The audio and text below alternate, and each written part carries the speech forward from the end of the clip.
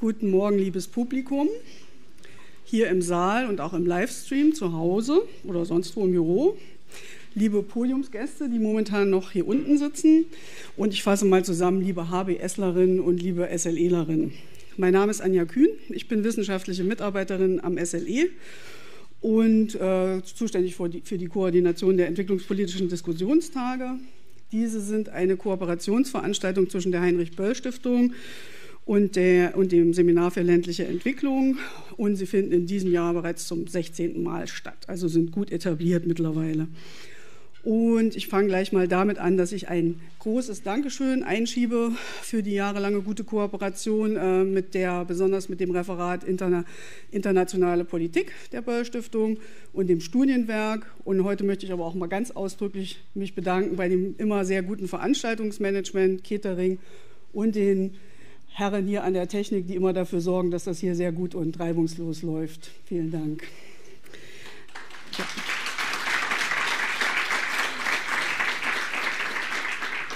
Die entwicklungspolitischen Diskussionstage sind fester Bestandteil der Ausbildung am SLE. Jedes Jahr ähm, organisieren äh, die Teilnehmerinnen und Teilnehmer des SLE und interessierte Stipendiatinnen und Stipendiaten der Heinrich-Böll-Stiftung äh, wählen drei aktuelle entwicklungspolitische Themen aus, die sie dann inhaltlich bearbeiten und organisatorisch alles vorbereiten, die Referenten einladen und dann gibt es drei Veranstaltungen äh, in jedem Jahr. Heute sind wir bei der dritten Veranstaltung äh, der diesjährigen äh, Diskussionstage. Und wie Sie sehen, geht es um Digitalisierung in der ländlichen Entwicklung. Digitalisierung ein ganz wichtiges Thema. Und ich zitiere mal aus unserem Flyer, ein unaufhaltbarer Megatrend des 21. Jahrhunderts.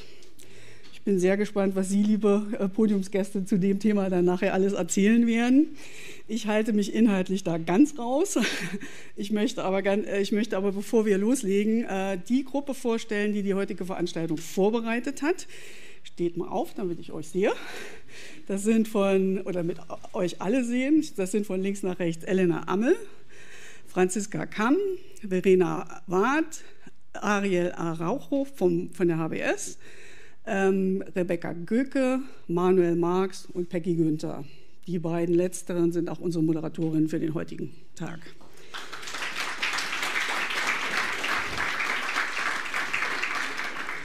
Bei der Vorbereitung äh, unterstützt wurde die Gruppe von unserer Kollegin Miriam Holländer, die da drüben sitzt. Vielen Dank auch an dich. Wir werden direkt einsteigen äh, in, äh, mit einer thematischen Einführung äh, in die Digitalisierung und dafür bitte ich den Ariel hoch auf die Bühne und ich wünsche uns und Ihnen allen ein, eine spannende Diskussion für den heutigen Tag.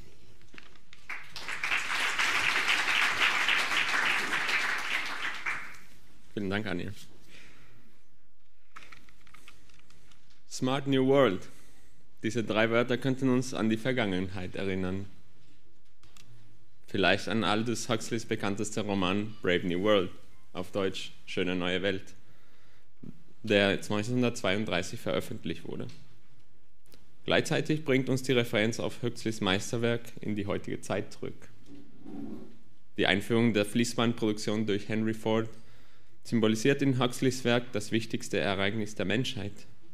Gleichzeitig zeigt uns sein Werk die Zeitenseite des Lebens in einer utopischen Gesellschaft, in der Technologisierung ein dermaßen stabiles System erzeugt, dass sie zur Etablierung eines totalitären Weltstaates führt. Und somit kommen wir auf unser heutiges Thema, denn digitale Technologien, die oft mit dem Wort smart gekennzeichnet werden, sind immer in mehr Aspekten unseres Alltages zu finden. Diese reichen von Big Data bis zum Internet of Things und werden also oft als ein Allheilmittel für menschliche Probleme dargestellt, als der Weg zu einer Utopie. Aber Utopien sind per Definition nicht nur als Visionen oder Fantasievorstellungen zu verstehen, sondern auch als undurchführbar wirkende Pläne oder Ideen ohne reale Grundlage zu verstehen. In diesem Punkt ist es also wichtig, uns zu fragen, ist Digitalisierung wirklich eine Utopie? Aber bevor wir das beantworten können, ist es umso wichtiger zu klären, was wir unter Digitalisierung verstehen und auf welche Aspekte wir uns fokussieren werden. Digitalisierung könnte man als die Veränderung von Prozessen, Objekten und Ereignissen, die bei einer zunehmenden Nutzung digitaler Geräte erfolgt, definieren. Dabei wahrscheinlich die relevanteste Sparte der Digitalisierung für das menschliche Zusammenlegen die Informations- und Kommunikationstechnologie, kurz IKT. IKT bezeichnet alles, was mit dem Zugang, Speicherung, Übertragung und Verarbeitung digitaler Informationen zu tun hat. Begonnen vom Telefon über Radio und Fernseher bis zum Computer. Die steigende Relevanz der IKT zeigt sich zum Beispiel in der Anzahl der Internetnutzer weltweit, wie Sie sehen können, die sich in, letzten, in der letzten Dekade mehr als verdreifacht hat, von einer Milliarde auf etwa 3,5 Milliarden. Auch in der EZ zeigt sich die wachsende Bedeutung der Digitalisierung, wie unter anderem der aktuelle Weltbankbericht zu dem Thema Digital Dividends verdeutlicht. Besonders im globalen Süden steht die rasante Verbreitung von IKT im Mittelpunkt. So gibt es Schätzungen, dass im unteren Fünftel des Einkommens ca. 70 Prozent der Bevölkerung im globalen Süden Handys nutzen. Auch die Schaffung von Bildung und Ausbildungsmöglichkeiten werden oft als ein, eine sehr große Chance gesehen. Neben der rein wirtschaftlichen Relevanz bietet IKT auch den Zugang zu Dienstleistungen für zuvor marginalisierte Bevölkerungsgruppen oder arme Bevölkerungsgruppen, nicht zuletzt in ländlichen Regionen. So reicht die Bandbreite zum Beispiel von Apps wie die an Wanderarbeiter gerichteten Handelsplattform Movosa aus Südafrika über SMS-basierte Cash-Transferdienste wie M-Pesa aus Kenia bis hin zu Schulungen des Startups Leap via Mobiltelefon für medizinisches Personal auf dem Land sowie Online-Tipps für Viehzucht Entschuldigung, für Kleinbauern durch M-Farm oder iCow. Wie Sie vielleicht sehen könnten, haben wir eine Auswahl solcher Beispiele von IKT-Entwicklungen in Form von QR-Codes zusammen, QR zusammengestellt. Heute werden wir uns im Rahmen der Podiumsdiskussion auf zwei der relevantesten Sektoren der, im ländlichen Raum begrenzen, Landwirtschaft und Gesundheit. Speziell im Hinblick auf globale Ernährungssicherheit, Klimawandel und Gesundheitsversorgung auf dem Land sind diese beiden Sektoren essentiell. Sie werden auch in den Sustainable Development Goals im Grundsatz des Leaving No One Behind und besonders in den Zielen 2 und 3 betont. Zusammenfassend könnte Mensch also ohne Zweifel behaupten, dass Digitalisierung im ländlichen Raum viele Potenziale für ländliche Entwicklung bietet. Dennoch ist der Weg zur vielversprechenden, smarten neuen Welt, wie am Anfang erwähnt, noch lange nicht geebnet. Eine Vielfalt von, Vielzahl von Faktoren spielen eine tragende Rolle für die tatsächliche Erzielung dieser Versprechen und somit auch für die Beantwortung unserer ursprünglichen Fragen, ob Digitalisierung eine Utopie sei. Zu diesen Herausforderungen zählen, um einige Beispiele zu nennen, der limitierte Zugang zu IKT durch fehlende technische Vernetzung, so sind etwa 60 Prozent der Bevölkerung oder etwa 4 Milliarden noch nicht online vernetzt. Und auch etwa 2 Millionen Menschen haben keinen Zugang zum Mobiltelefon. Dies betrifft vor allem marginalisierte Bevölkerung, insbesondere ältere oder rurale Bevölkerung. Die gesteigerte Vulnerabilität, die aus einer erhöhten technischen Abhängigkeit resultiert, beispielsweise durch Internetausfälle, stellt ein weiteres Problem dar. Zudem kommt es des Öfteren zu staatlichen Repressionen, wie zum Beispiel das gezielte Blockieren von Webseiten oder Servern. Nicht zuletzt fehlen Rechenschaftspflichtigkeit, staatliche Regulierung und institutionelle Kontrolle der digitalen Vernetzung. Diese Aspekte weisen zudem auch auf die Notwendigkeit der Verknüpfung von digitalen Technologien mit analogen Rahmenbedingungen hin. Die Rolle der Digitalisierung für die ländliche Entwicklung heutzutage und in der Zukunft ist also nicht einseitig zu betrachten. Deshalb, abseits von utopischen Vorstellungen, wollen wir uns jetzt mit der Frage der Digitalisierung als eine reale Möglichkeit für die ländliche Entwicklung beschäftigen und sofort sowohl ihre Potenziale als auch ihre Herausforderungen, die, die sie mit sich bringt, betrachten. Und dafür möchte ich gerne unser liebes Re Moderationsteam sowie unsere Referentinnen und Referenten auf die Bühne bitten. Vielen Dank.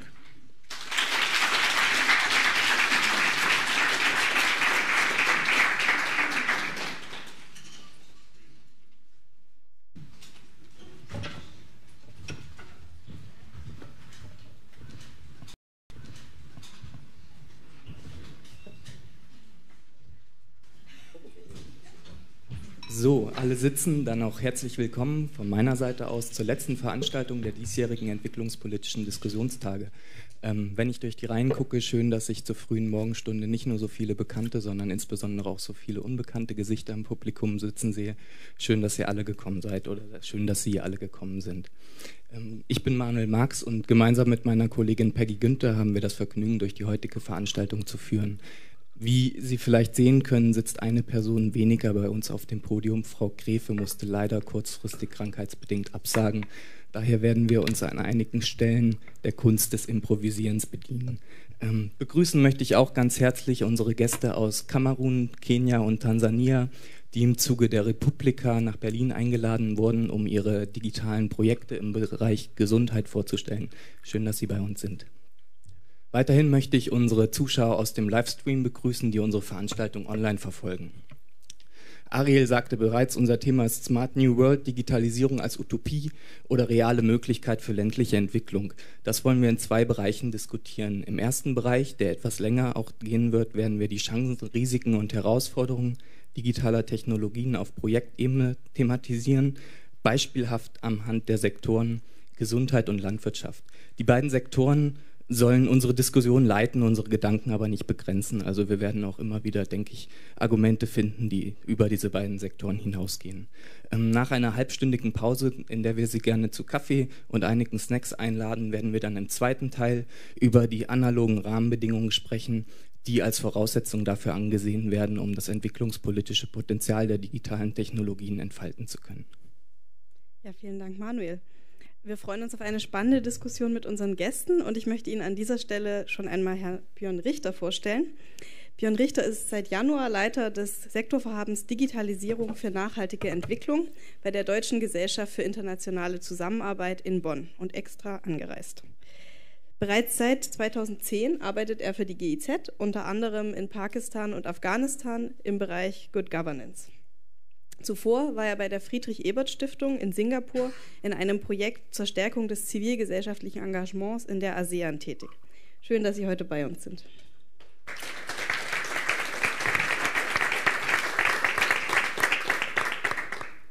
Begrüßen möchten wir auch ganz herzlich Herrn Michael Pittelkoff, der seit 2015 General Manager der Abteilung Public Services Africa bei SAP ist. Vor seiner Zeit bei SAP arbeitete Herr Pittelkoff als staatlicher Berater und war an, verschiedenen IT-Implementierungsprojekten beteiligt. Außerdem sammelt er vielfältige Erfahrungen in Transformationsprojekten im öffentlichen Sektor. Leider wird Herr Pittelkoff uns aufgrund eines wichtigen Termins im BMZ bereits zur Kaffeepause verlassen müssen. Umso mehr freut es uns, dass Sie heute die Zeit gefunden haben. Schön, dass Sie bei uns sind.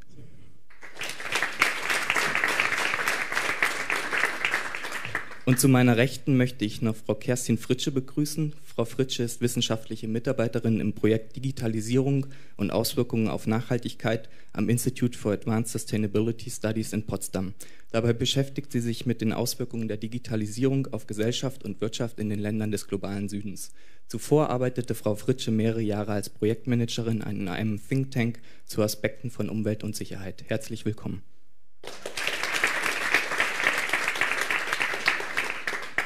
Im Vorfeld zu unserer Veranstaltung haben wir unsere Podiumsgäste gebeten, ein Bild mitzubringen. welches ähm, so ein bisschen den Zugang zum Thema für Sie aus einer persönlichen Perspektive darstellt. Die Bilder werden ähm, jetzt auf den entsprechenden Leinwänden zu sehen sein. Wir beginnen mit dem Bild von Frau Fritsche. Ähm, Frau Fritsche, warum haben Sie uns das Bild mitgebracht und äh, was, was sehen wir auf dem Bild und was sind Ihre Gedanken zu dem Bild?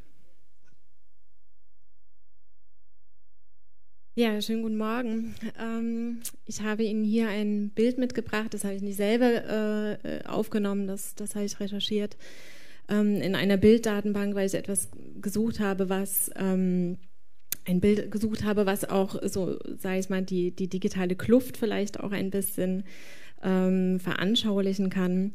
Und wir sehen hier eine Straßenszene aus, aus Lagos ähm, in Nigeria der größten Stadt Afrikas mit, äh, je nachdem, welcher Stif äh, Schätzung man Glauben schenken mag oder Statistik man Glauben schenken mag, äh, 14, 17, manche sagen sogar 21 Millionen Einwohner hat.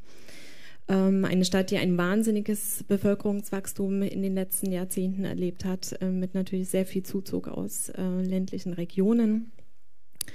Und ich fand dieses Bild sehr, sehr schön, weil es entlarvt auch so ein bisschen den Betrachter aus meiner Sicht, ähm, vor allem wenn er sich in einem äh, Industrieland befindet. Denn äh, unter einer Computer-Megacity äh, stellen die meisten von uns, die hier sitzen, sich vielleicht erstmal etwas ganz anderes vor als das, was wir hier sehen.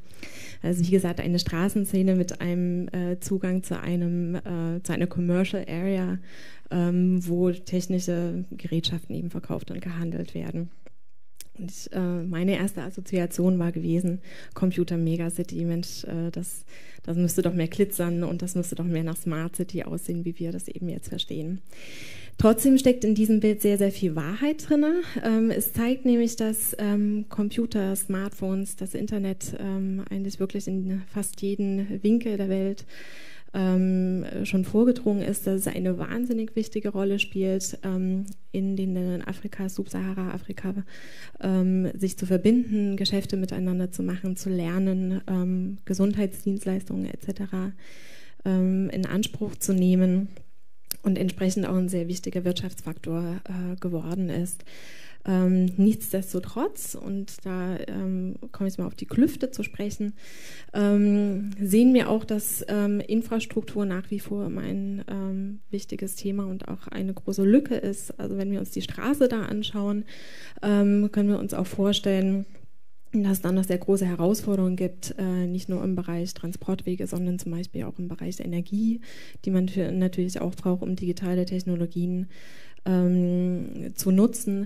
Und so gesehen fand ich das äh, ein, sehr, ein sehr schönes Bild, was gleichzeitig aber auch ein Stück weit den Enthusiasmus mit transportiert, ähm, der mit diesen digitalen Technologien in afrikanischen Ländern verbunden ist. Ähm, weil um das Computer Megacity zu nennen, ähm, glaube ich, muss man auch äh, von, dem Potenzial dieser Technologien ein Stück weit überzeugt sein und auch von dem, was es an, an positiven Veränderungen auch für die Menschen in der Region bringen kann. Das äh, ganz kurz, ähm, warum ich Ihnen dieses Bild heute mitgebracht habe. Vielen Dank, Frau Fritsche, für den persönlichen Einblick. Wir kommen zu unserem nächsten Bild, was Herr Pittelkoff mitgebracht hat. Herr Pittelkoff, was sind Ihre Gedanken zu dem Bild? Ja, ich habe, äh, Sie hat mich ja gebeten, etwas, ähm, ein Bild mitzubringen, das das Thema ländliche Entwicklung, Entwicklungszusammenarbeit und Digitales zusammenbringt. Und ähm, für mich ist das Entscheidende nicht so sehr die Technologie, sondern das, was man damit, wen man damit erreicht. Und hier sehen Sie drei Frauen, äh, drei Menschen, zwei Frauen, ein, ein Mann, aus äh, Ghana, wenn ich mich recht entsinne. Das ist ein Bild aus einem gemeinsamen GIZ-SAP-Projekt, übrigens, Herr Richter, Cashew-Initiative, äh, mit, mit dem Mobiltelefon. Und äh, digitale Technologien haben das Leben dieser drei Menschen sehr entscheidend verändert, weil sie es ihnen ermöglichen, ihre, die Cashewnüsse, die sie sammeln, im ländlichen Bereich direkt in globalen Märkten zu verkaufen.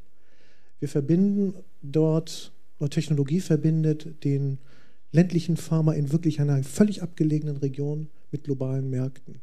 Und das hat eine Auswirkung für den Menschen, für inklusive Entwicklung, nachhaltige Entwicklung. Das heißt, wir reden hier nicht über Multinationals wie SAP oder über, über äh, große Agrarunternehmen, die, ähm, die davon Vorteile haben, sondern wir reden von konkreten Menschen.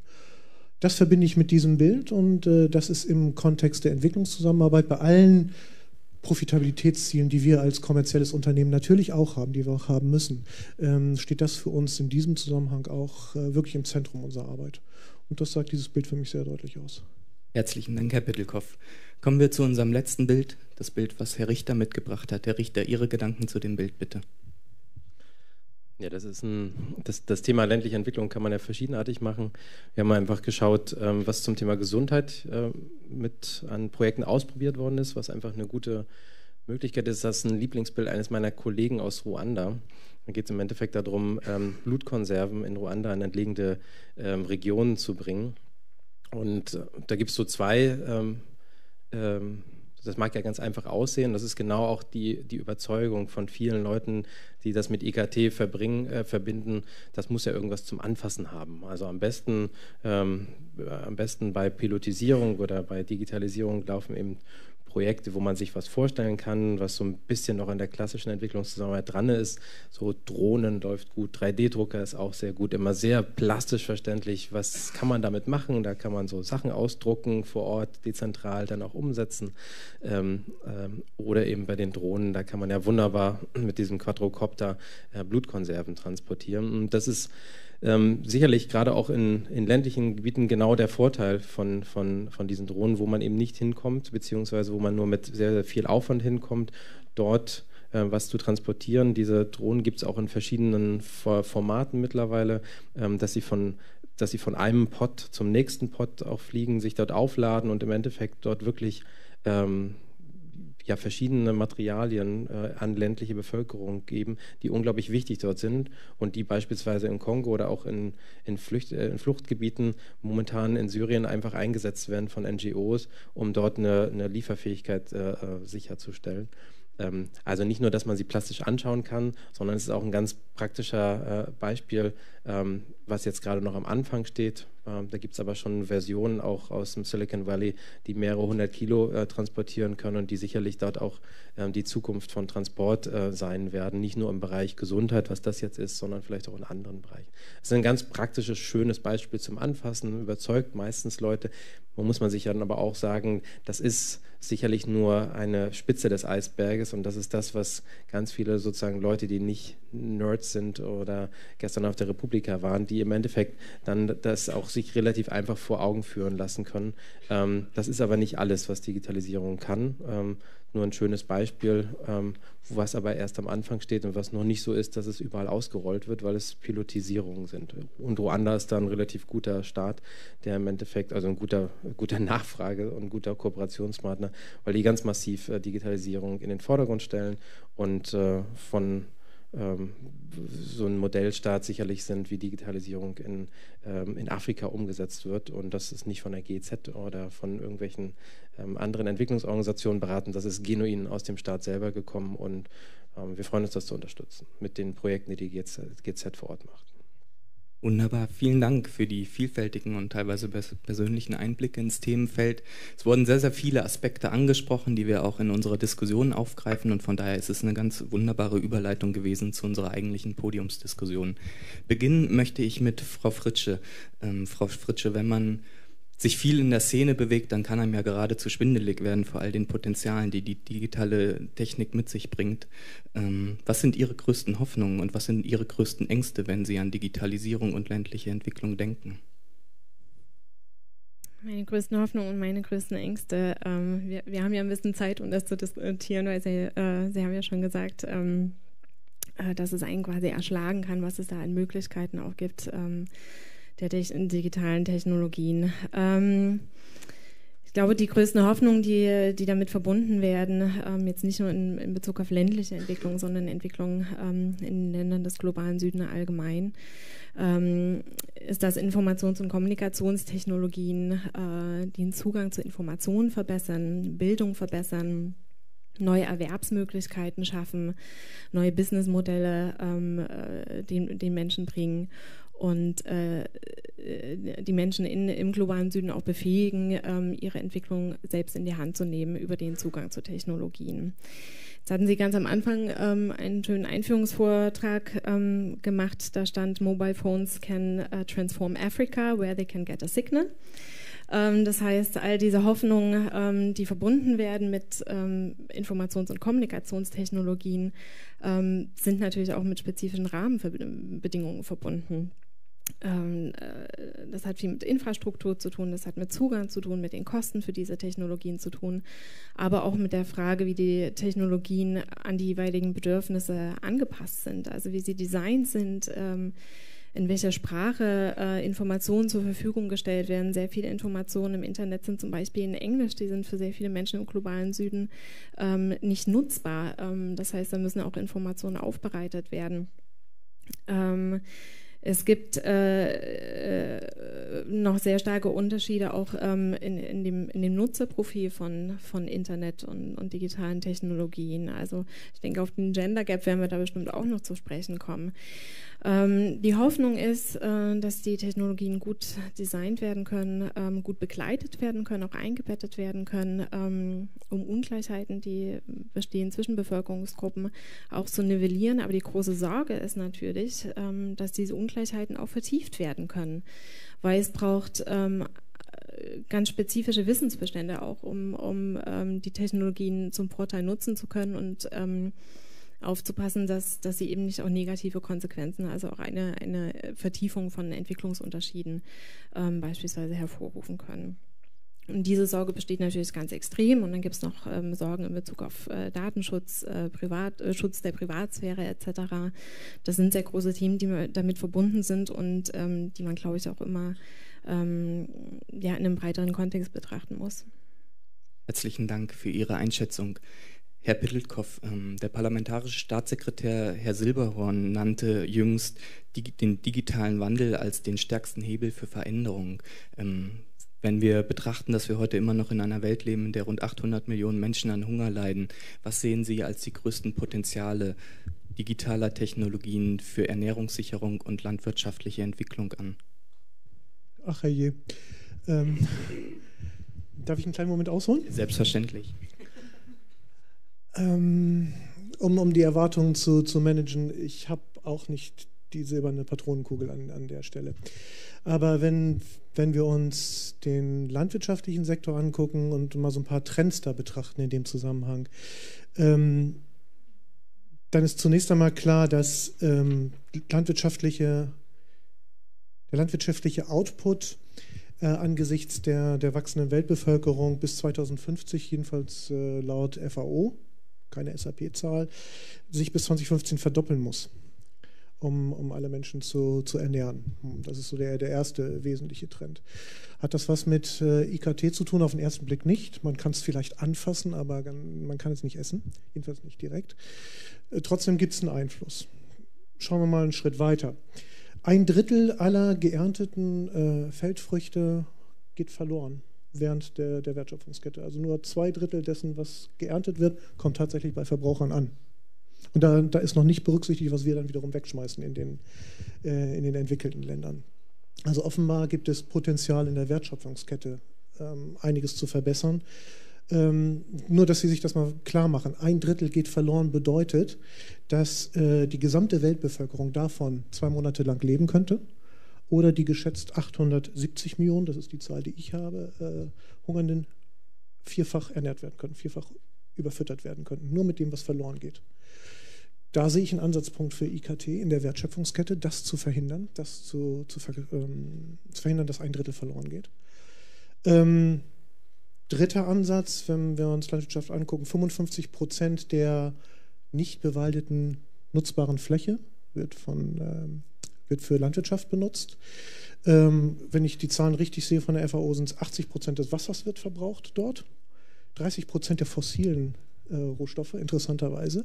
Das heißt, die, die Energie, die Intensität, der, der Ressourcenverbrauch, der mit Landwirtschaft einhergeht, äh, spielt eine große Rolle. Denken Sie dran, wir müssen, müssen mehr mit gleicher Fläche machen. Das heißt, die Verbesserung der, der Nutzung der Flächen spielt eine Rolle. Komme ich auch gleich zur IKT. Und dann äh, ist für mich ein wichtiger Faktor, und deswegen wieder zurück zu meinem Bild, und das machen wir auch hier konkret. Ähm, wer von Ihnen mag Schokolade? Fast jeder, ne? Ähm, ich darf nicht so viel Schokolade, weil ich leider einen Hang dazu habe, zu rund zu werden. Aber ähm, wussten Sie, dass 80 Prozent bis 90 Prozent der Schokolade weltweit oder der Kakaobohnen weltweit von nur 5 bis 6 Millionen Farmern produziert werden? Also wirklich eine überschaubare Größenordnung und dass die Preise runtergehen. Also wenn Sie zu dem Discounter gehen und für 79 Cent eine Tafel Schokolade kaufen, dann bleibt da, kommt da nicht viel an am Ende. Und das bedeutet, dass äh, Pharma, die tatsächlich produzieren, heute pleite gehen.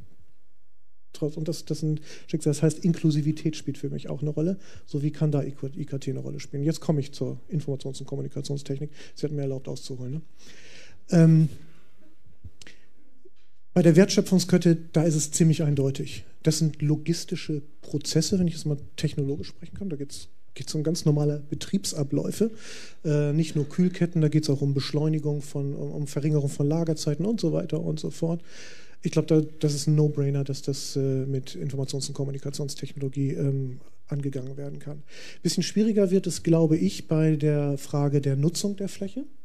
Und da spielt der eine Megatrend Internet of Things, der ja auch im, äh, im Einführungsvortrag angesprochen wurde, eine große Rolle. Sensoren, Drohnen möglicherweise auch. Also die Frage, wie kann ich äh, tatsächlich mehr aus Fläche holen? Es gibt Leute, die sagen, die sprechen von der sogenannten Singularität. Ich weiß nicht, wer den Begriff hier in, dieser Runde schon gehört hat. Singularität, die selbst lernen. Also das ist der Punkt, wo, wo Computer das menschliche Gehirn im Grunde genommen überholt haben werden. Die sprechen davon, dass nur noch Roboterfelder bestellen. Daran glaube ich persönlich nicht. Das ist nicht, nicht meine Vision. Aber ich glaube, dass Menschen in die Lage versetzt werden, die Felder besser zu bestellen. Stichwort Inklusivität, auch im ländlichen Raum, auch der kleine Farmer. Ich rede hier nicht nur von den großen Produzenten.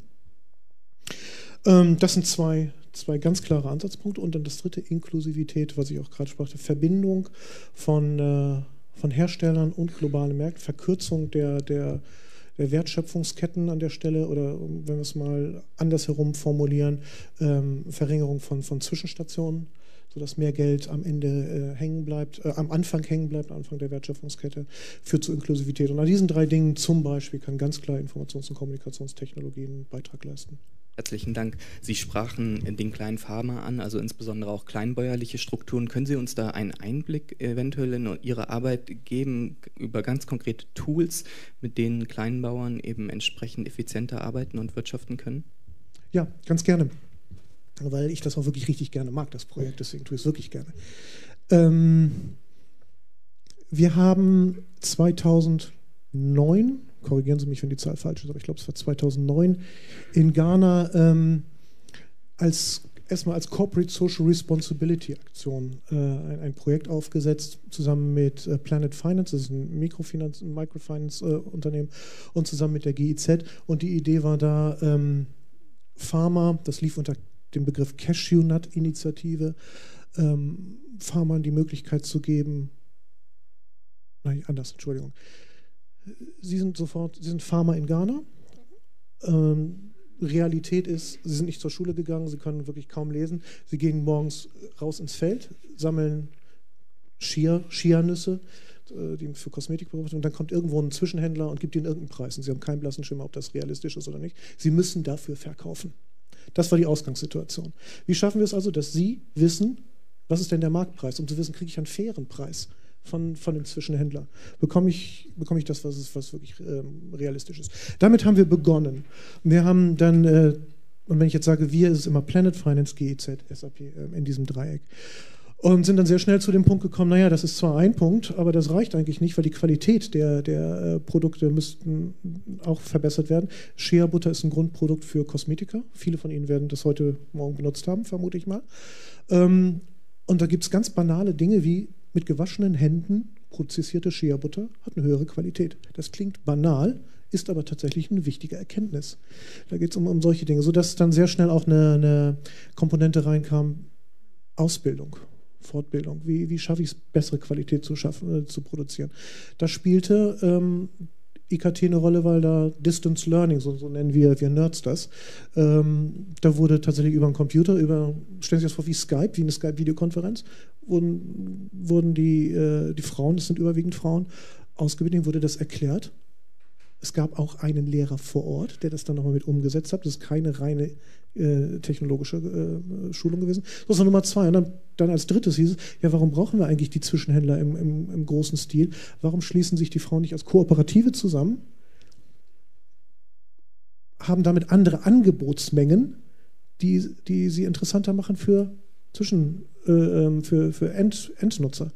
Und das führt dazu, dass äh, da eine, eine Plattform, wir nennen die Rural Sourcing Management, die heute auch ganz normal auf unserer Preisliste steht, was also begann als Corporate Social Responsibility, ist heute ein ganz normales kommerzielles Produkt, das wir anbieten, das eben solche Kooperativen in die Lage versetzt, direkt mit globalen Märkten in Verbindung zu treten. Und wenn Sie sich das mal anschauen, Nestlé kauft heute unmittelbar bei Farmern. In Ghana, das ist dann ausgebaut worden auf Kaffeefarmer, Uganda Kaffee-Initiative haben wir vor kurzem eine strategische Partnerschaft mit der GIZ ähm, zu gelauncht. Und das Ganze ist eben nicht nur Markt, nicht nur, sondern auch Ausbildung, es ist äh, nachhaltige Entwicklung vor Ort. Das ist das in wenigen Worten. Wer da mehr zu wissen will, auf YouTube sind jede Menge Videos dazu. Sehr, sehr spannend. Vielen Dank. Ja, also wie wir gerade gehört haben, auch die deutsche Entwicklungszusammenarbeit nutzt vermehrt digitale Technologien in ihren Projekten in der Landwirtschaft, aber auch im Gesundheitssektor. Und Herr Richter, das von Ihnen geleitete Vorhaben hat ja auch das explizite Ziel, dass die deutsche EZ die Chancen des digitalen Wandels nutzt.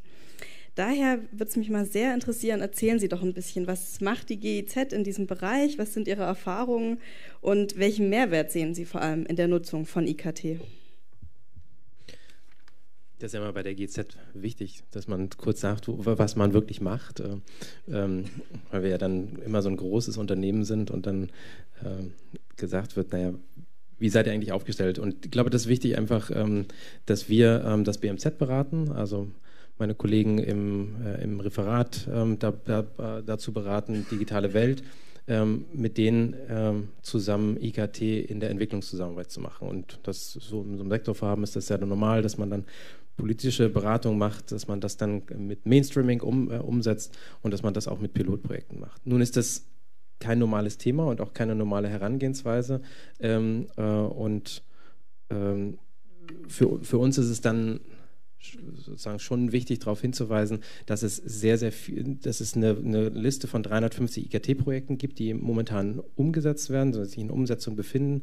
Und das kann eine ganz normale ähm, App sein ähm, für einen, Kommunal, ähm, für, ja, einen Kommunalvertreter, der im Endeffekt mal kurz wissen möchte, wie ist das mit dem Kommunalrecht, bis hin zur Unterstützung, äh, was wir gerade machen, Unterstützung des ruandischen Digitalisierungsministeriums äh, bei der Umsetzung und bei der Institutionalisierung von einem Accelerator und von der Digitalisierungsstrategie, also wirklich zu genuinen IKT-Projekten. Und ich glaube, das ist wichtig, sich nochmal vor, vor Augen zu führen. Digitalisierung ist ja wahrscheinlich wie andere ähm, wie andere Themen ähm, so ein Cross-Cutting-Thema, ähm, was im Endeffekt viele Sachen unterstützt, ob es jetzt ähm, Gesundheit ist oder ob es jetzt ländliche Entwicklung ist, da setzt man dann immer ein I davor, dann ist es E-Health oder E-Agriculture oder ähm, äh, dann ist es E-Governance. Äh, und ja, so funktioniert das ja wirklich, dass verschiedene Anwendungen ähm, Projekte dann unterstützen von der Entwicklungszusammenarbeit und die dann dadurch, äh, ähm, darum geht es uns dann, bessere Wirkung erzielen für die Ziele, die sie sich im Endeffekt genommen haben in den Sektoren. Das ist das Mainstreaming,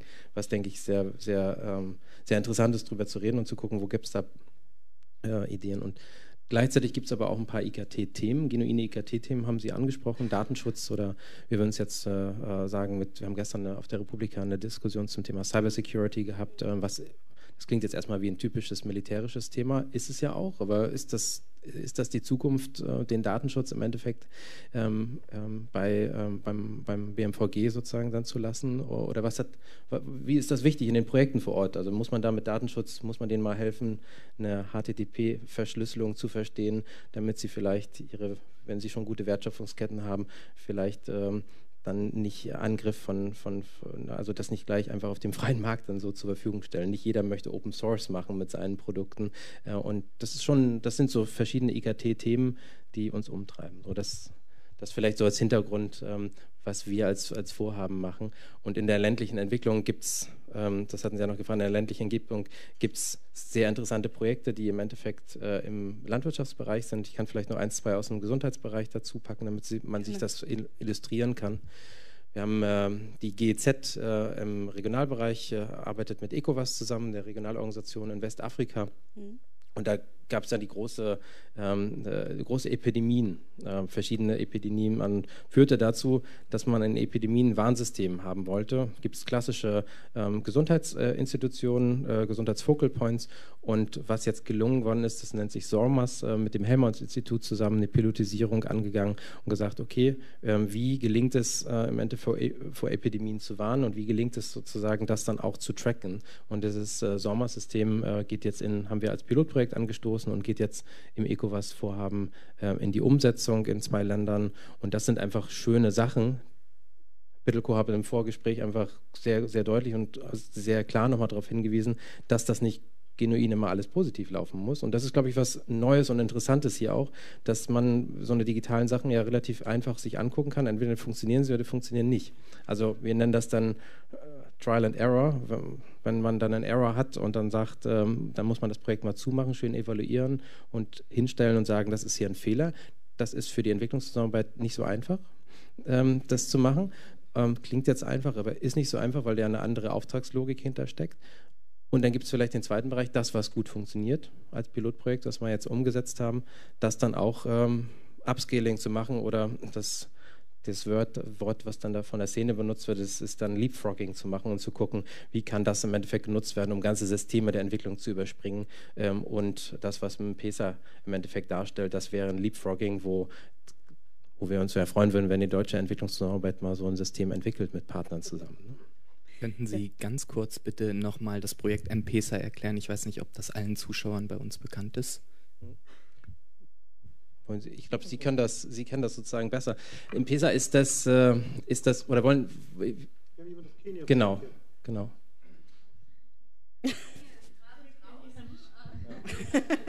okay. Genau, weil es mir da ja, Kenia ist nochmal gerade draußen in einer anderen Diskussion, aber ich weiß jetzt nicht, ob Sie auf M-Pesa insgesamt anspielen oder M-Pesa, wie es genutzt wird. Also M-Pesa ist eine ähm, mobile, ein, ein mobiles Banking-System auf, ähm, auf einem ganz normalen Handy, das funktioniert auch per SMS. Man kann von ähm, Ort X nach Ort Y per SMS Geld überweisen. Also ich könnte jetzt einfach eine SMS an Maui schicken und ähm, oder Maui könnte eine SMS an ihre ähm, an, an Geld an ihre Familie jetzt aktuell in Tansania transferieren. Das funktioniert in Tansania, das funktioniert in Kenia. Es wird aber auch genutzt in verschiedenen Gesundheitsprojekten, in verschiedenen Projekten, um beispielsweise ähm, äh, ähm, die, die, die, die, wenn man ins Gesundheitszentrum geht, die Kosten dort ähm, zu bezahlen. Oder ich habe jemanden, der ähm, einen Verwandten, der in ähm, in einem entlegenen Ort sitzt, dem ich dann über dieses ähm, Mobile Banking System das Geld transferieren kann. Ähm, jetzt nur ganz kurz von meiner Seite. Ich weiß nicht, ob das hilft. Äh, erlauben ja, Sie, dass ich ergänze? Äh, ja, wenn Sie, Sie möchten. Das, also soll, die, diese, diese Technologie läuft unter dem Begriff Fintech. Das eigentlich Spannende dabei ist, da ist keine Bank mehr beteiligt. Ähm, trotzdem, darf ich Sie weiter als Beispiel benutzen? Sie haben gar kein Bankkonto. Ähm, aber trotzdem müssen sie Transaktionen machen. Ähm, trotzdem müssen sie vielleicht sowas wie ähm, eine Kreditwürdigkeit haben. So, und das, sie benutzen ihr Mobiltelefon dafür, statt des Bankkontos, obwohl sie kein Konto kriegen, aus welchen Gründen auch immer. Sie haben keine permanente Adresse oder was immer der Grund sein mag, warum sie kein Bankkonto kriegen. Ihr Mobiltelefon ist plötzlich ihr Konto. Das ist, das ist was sehr Spannendes. Ist da, die Einstiegshürde ist damit deutlich, deutlich geringer. Äh, die damit verbundenen Kosten für den Nutzer sind deutlich geringer, weil das Geschäftsmodell einfach ein anderes ist. Ne? Es läuft übers Telefon. Es wird häufig von äh, mobil, von, von äh, Telco-Providern äh, getrieben oder unterstützt. Und äh, M-Pesa ist eines davon, ist auch sicherlich das bekannteste und am weitesten entwickelte. Wir, wir sehen das auch in Indien, es gibt es in Südafrika, da macht es sogar die Standard Bank, die versucht in diesen, diesen Bereich reinzukommen, weil das wird eigentlich das, die Bezahlmethode der Zukunft sein. Und wenn wir ganz ehrlich sind, sind die äh, durch das Leapfrogging sind uns die Entwicklungsländer, Schwellenländer da weit voraus äh, gegenüber den, uns hier, die wir alle noch mit den großen Banken arbeiten. Deswegen, also zum Ersten ist es auch, glaube ich, bei dem Thema wichtig, ähm, dass wir auch nicht die silberne Bullet haben und es dann schon bei dem Thema darum geht, das Richtige zu erzählen. Deswegen, ich kenne die Zahlen nicht, das, ich glaube, das das ist das Neue auch bei den IKT-Themen, dass man so ein wichtiges Thema dann auch wirklich richtig äh, darstellt und grundsätzlich die Leute fragt, die es wirklich können und nicht nur die Leute, die sozusagen darüber reden sozusagen sollen. Ähm, das hat noch, wenn man das noch ein bisschen sozusagen weiter spinnt, ähm, kommt bei dem Fintech jetzt noch eine interessante Sache dabei rein. Das ist dann ein großes Nerd-Thema. Das sind die Blockchain. Ähm, da geht es im Endeffekt grundsätzlich darum, dass äh, so ein Blockchain ein, ein, System ist, wie man im Endeffekt Verträge digital hinterlegen kann und für jeden einsichtlich sind. Das ist es vielleicht mal ganz kurz erzählt. Ähm, das würde aber in der Umsetzung möglich sein, so wird es momentan diskutiert in der Entwicklungszusammenarbeit, dass das Bankensystem damit ähm, abgeschafft wird, weil damit kann man auch Konten hinterlegen. Und wenn man das sozusagen in der Verkettung wirklich durchdiskutiert, so weit sind wir sozusagen noch nicht, wir fangen da gerade erst an, dann ist das eine sehr, sehr interessante Entwicklung, wo es im Endeffekt darum geht, Menschen vor Ort in der ländlichen, im ländlichen Bereich, die einfach keinen Zugang haben, mit verschiedenen EKT-Möglichkeiten eine Stimme zu verschaffen und auch als, äh, als Menschen sozusagen, als Individuen in der Gesellschaft darzustellen, die verschiedene wirtschaftliche Zugänge haben, einen anderen Einstieg haben. Und das sind Themen, die müssen im Detail sehr, sehr gut verstanden werden, um sie dann auch nutzbar zu machen für die Entwicklungszusammenarbeit. Soweit ist die Entwicklungszusammenarbeit grundsätzlich noch nicht. Sie sieht die Sachen sozusagen aber und wir fangen die Pilotisierung an. Wir brauchen dann aber wirklich im Detail die richtigen Leute, die daran arbeiten und die richtigen Inputs, damit wir es richtig machen, weil es ein sehr ähm, interessanter, aber auch umkämpfter sozusagen äh, Markt ist. Da geht es dann auch darum, so ein Bankensystem dann wehrt sich dagegen auch. Ne? Frau Fritsche, Sie möchten was sagen, weil sonst würde ich ja, gerne. Dann also, ganz kurz vielleicht noch, bevor ich die Diskussion zurückleite auf unsere beiden Kernthemen. Ich würde das gerne noch um ein Beispiel bereichern und vielleicht auch um eine Perspektive aus der Wissenschaft, der Herr Richter jetzt schon mal das, das Buzzword Blockchain genannt hat. Ähm, da gibt es natürlich auch ganz viele Anwendungsfelder im Energiebereich. Ähm, auch auf der Republika gibt es einen Vortrag dazu wie diese Blockchain-Technologie den ähm, Verkauf von, von Kleinstmengen an Strom zum Beispiel zwischen Nachbarn ermöglichen äh, kann, was aktuell noch nicht möglich ist, äh, auch regulatorische Gründe hat. Aber das wäre natürlich immens, wenn ich den Strom, den ich mit meiner kleinen Solaranlage produziere, nicht nur selber brauche, nicht nur einspeise, sondern auch meinem Nachbarn für einen Preis verkaufen kann, der wesentlich unter dem Preis liegt, äh, den er sonst zahlen würde bei dem normalen ähm, Stromanbieter. Also die Ausmaße dieser Blockchain-Technologie wird sicherlich aktuell sehr stark noch gehypt, aber gerade in Bezug auf Empowerment von Menschen ähm, wirklich auch ökonomisch ähm, äh, sich zu engagieren können, können, enorm sein. Es ist wie gesagt immer eine Frage, wie es gemacht wird und ähm, wie, wie, es dann auch letzten Endes umsetzbar ist. Ähm, Herr Richter hat auch so schön gesagt, äh, wir verstehen das noch nicht äh, oder noch nicht in Gänze und machen auch ein Stück weit noch Trial and Error. Ähm, das kann ich auch aus der, aus der Forschungsperspektive bestätigen. Also es hat sich ein, ein riesiges äh, Forschungsfeld ähm, in diesem ganzen Bereich ICT4D, also Informations- und Kommunikationstechnologien für Entwicklung, ähm, gebildet. Äh, wo, wo dennoch auch einer der Diskurse immer noch ist, wir brauchen eigentlich noch mehr Feldstudien, wir müssen eigentlich noch viel mehr verstehen, was da wirklich passiert, wie Technologien genutzt werden, warum manche äh, Projekte scheitern und andere auch nicht, ähm, an welchen Rahmenbedingungen das liegt und wie man da gegebenenfalls dann auch ähm, gute Erkenntnisse ableiten kann, um die Politik zu beraten und auch die EZ-Organisation zu beraten. Also jeder, der hier sitzt und äh, sich in dem Bereich wissenschaftlich engagieren will, würde ich sagen, das, das ist ähm, in der Tat ein, ein sehr, sehr breites Feld, wo es auch mehr mehr, mehr Forschung noch braucht. Und was es eben auch braucht, ist nicht nur die primären Effekte der Technologien zu verstehen, sondern auch die, die sekundären. Das heißt, wenn zum Beispiel, ich habe vorhin das Beispiel gebracht, ähm, ein Fischer ähm, äh, seine, seine Fische zu höheren Preisen ähm, verkaufen kann, äh, weil er eben, ähm, oder auch Cashew, Cashewnüsse, ähm, weil er eben solche Technologien einsetzt ähm, und äh, dadurch ein höheres Einkommen generiert, dann ist eigentlich die nächste Frage auch ähm, für, für die Entwicklungszusammenarbeit, für Entwicklung allgemein, wie investiert er denn das Geld, was er da jetzt ähm, äh, höher eingenommen hat? Also wohin, wohin fließen dann diese Revenues sozusagen? Fließen die in Bildung, fließen die in ähm, Konsumgüter, wo, wo fließt das rein? Um, um einfach zu verstehen, welchen Einfluss ähm, digitale Technologien, sage ich mal, auf das, das Gesamtbild von Entwicklung eben haben. Es reicht nicht nur, wenn man sich nur die Projekte anschaut, sondern man muss auch schauen, ähm, welche Effekte sie dann im weiteren Rahmen eben generieren. Ja, danke schön. Jetzt muss ich trotzdem nochmal zurück zu Ihnen, Herr Richter. Und das tut mir leid, ich getraue mich jetzt fast die Frage nicht zu stellen, aber trotzdem, die EZ muss sich ja immer mit der Wirksamkeit befassen und immer darüber auch ähm, rechtfertigen. Und deshalb wäre jetzt einfach die logische Nachfrage, was sind denn oder gibt es erste Evaluierungsergebnisse aus Projekten, die die GEZ macht, wo eben digitale Technologien verwendet werden?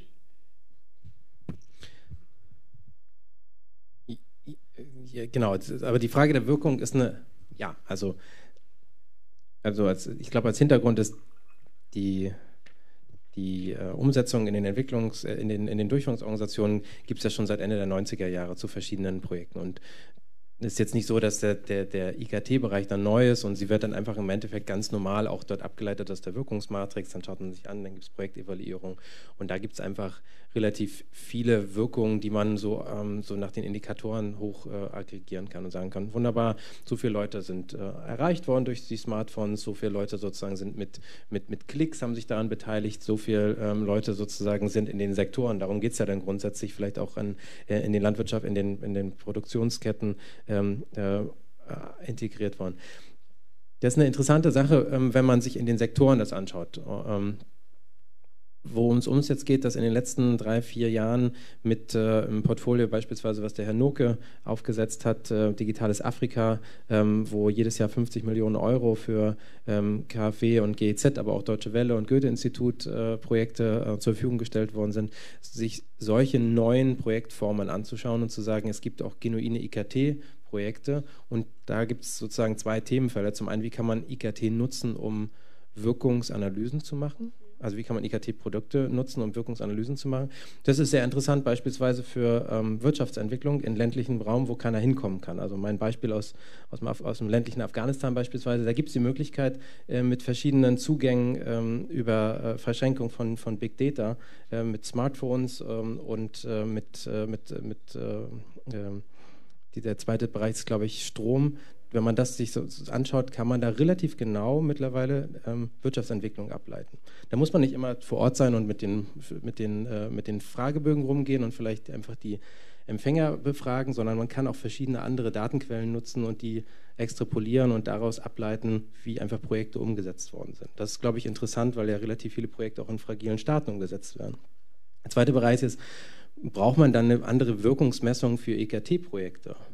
Hm ich habe deswegen, ich habe gesagt, ja klar gibt es das, aber ähm, ist das ausreichend äh, oder haben IKT-Projekte noch andere Sachen, die man messen muss in dem, in dem negativen, in der negativen Wirkung? Die gibt es ja durchaus, ne, wenn man Projekte zur Verfügung stellt. Wie wird einfach sichergestellt, dass Datenschutz, dass sozusagen die, äh, die Menschenrechte, dass im Endeffekt Selbstbestimmung und Demokratie dafür nicht unter die Räder kommen? Das muss man auch messen. Das nicht so ganz einfach dann immer. Wenn, ähm, und der zweite Themenbereich ist, sind die dann genuin besser, weil es IKT-Projekte sind oder ist es ein, ein, normales Gesundheitsprojekt auch ganz normal? Und das ist der Bereich, wo wir im Endeffekt gerade erst anfangen, das BMZ zu dem Thema beraten.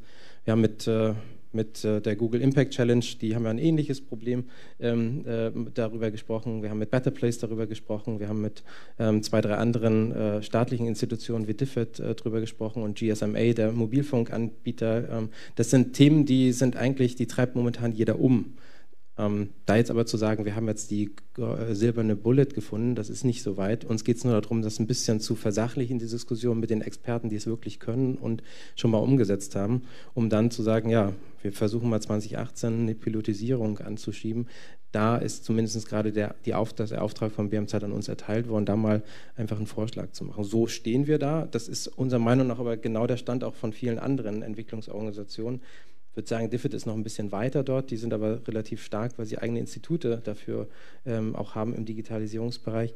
Aber insgesamt ähm, robbt man sich an das Thema ran und uns geht es um so eine Entmystifizierung. Auch IKT ist nicht grundsätzlich gut, weil es jetzt ein Hype-Thema ist, sondern es muss sich genau dieser Wirkungslogik äh, unterlaufen und es reicht nicht, Klicks und äh, App-Nutzer zu zählen, weil das ist auch keine Wirkung. Das sind im Endeffekt nur, ähm, nur Zahlen sozusagen von Nutzung. Das ist ja keine Wirkung. Also deswegen ein bisschen länger, aber ja, das ist ein sehr interessantes Thema in zwei verschiedenen Zielrichtungen. Wir sind da gerade am Anfang und versuchen ein Kooperationsnetzwerk aufzubauen und sind sehr froh, dass das BMZ da Interesse hat. Ne?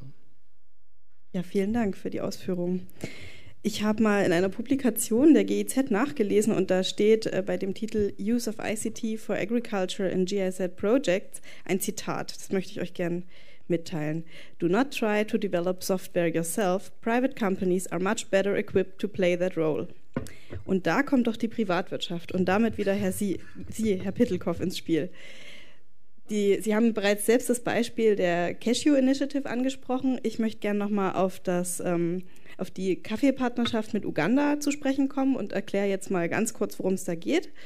Das ist eine Entwicklungspartnerschaft von GIZ, SAP und der Uganda Coffee Farmers Alliance, die eine App entwickelt haben, mit der Kaffeebauern aus Uganda ähm, in die Lage versetzt werden, die Prozesse der Produktion bis zum Verkauf der Bohne nachzuvollziehen, also auch wertschöpfungskettenbasiert. Haben wir ja heute auch bereits was zu gehört. Damit werden Effizienz und Transparenz der landwirtschaftlichen Wertschöpfungskette gesteigert und außerdem kann beispielsweise auch Zertifizierung erleichtert werden. Geben Sie uns doch bitte noch mal einen kurzen Einblick in dieses Public-Private Partnership und dabei interessiert mich mal insbesondere, wo sehen Sie denn die Rolle Ihres Unternehmens und was erhofft sich SAP von solch einer Partnerschaft?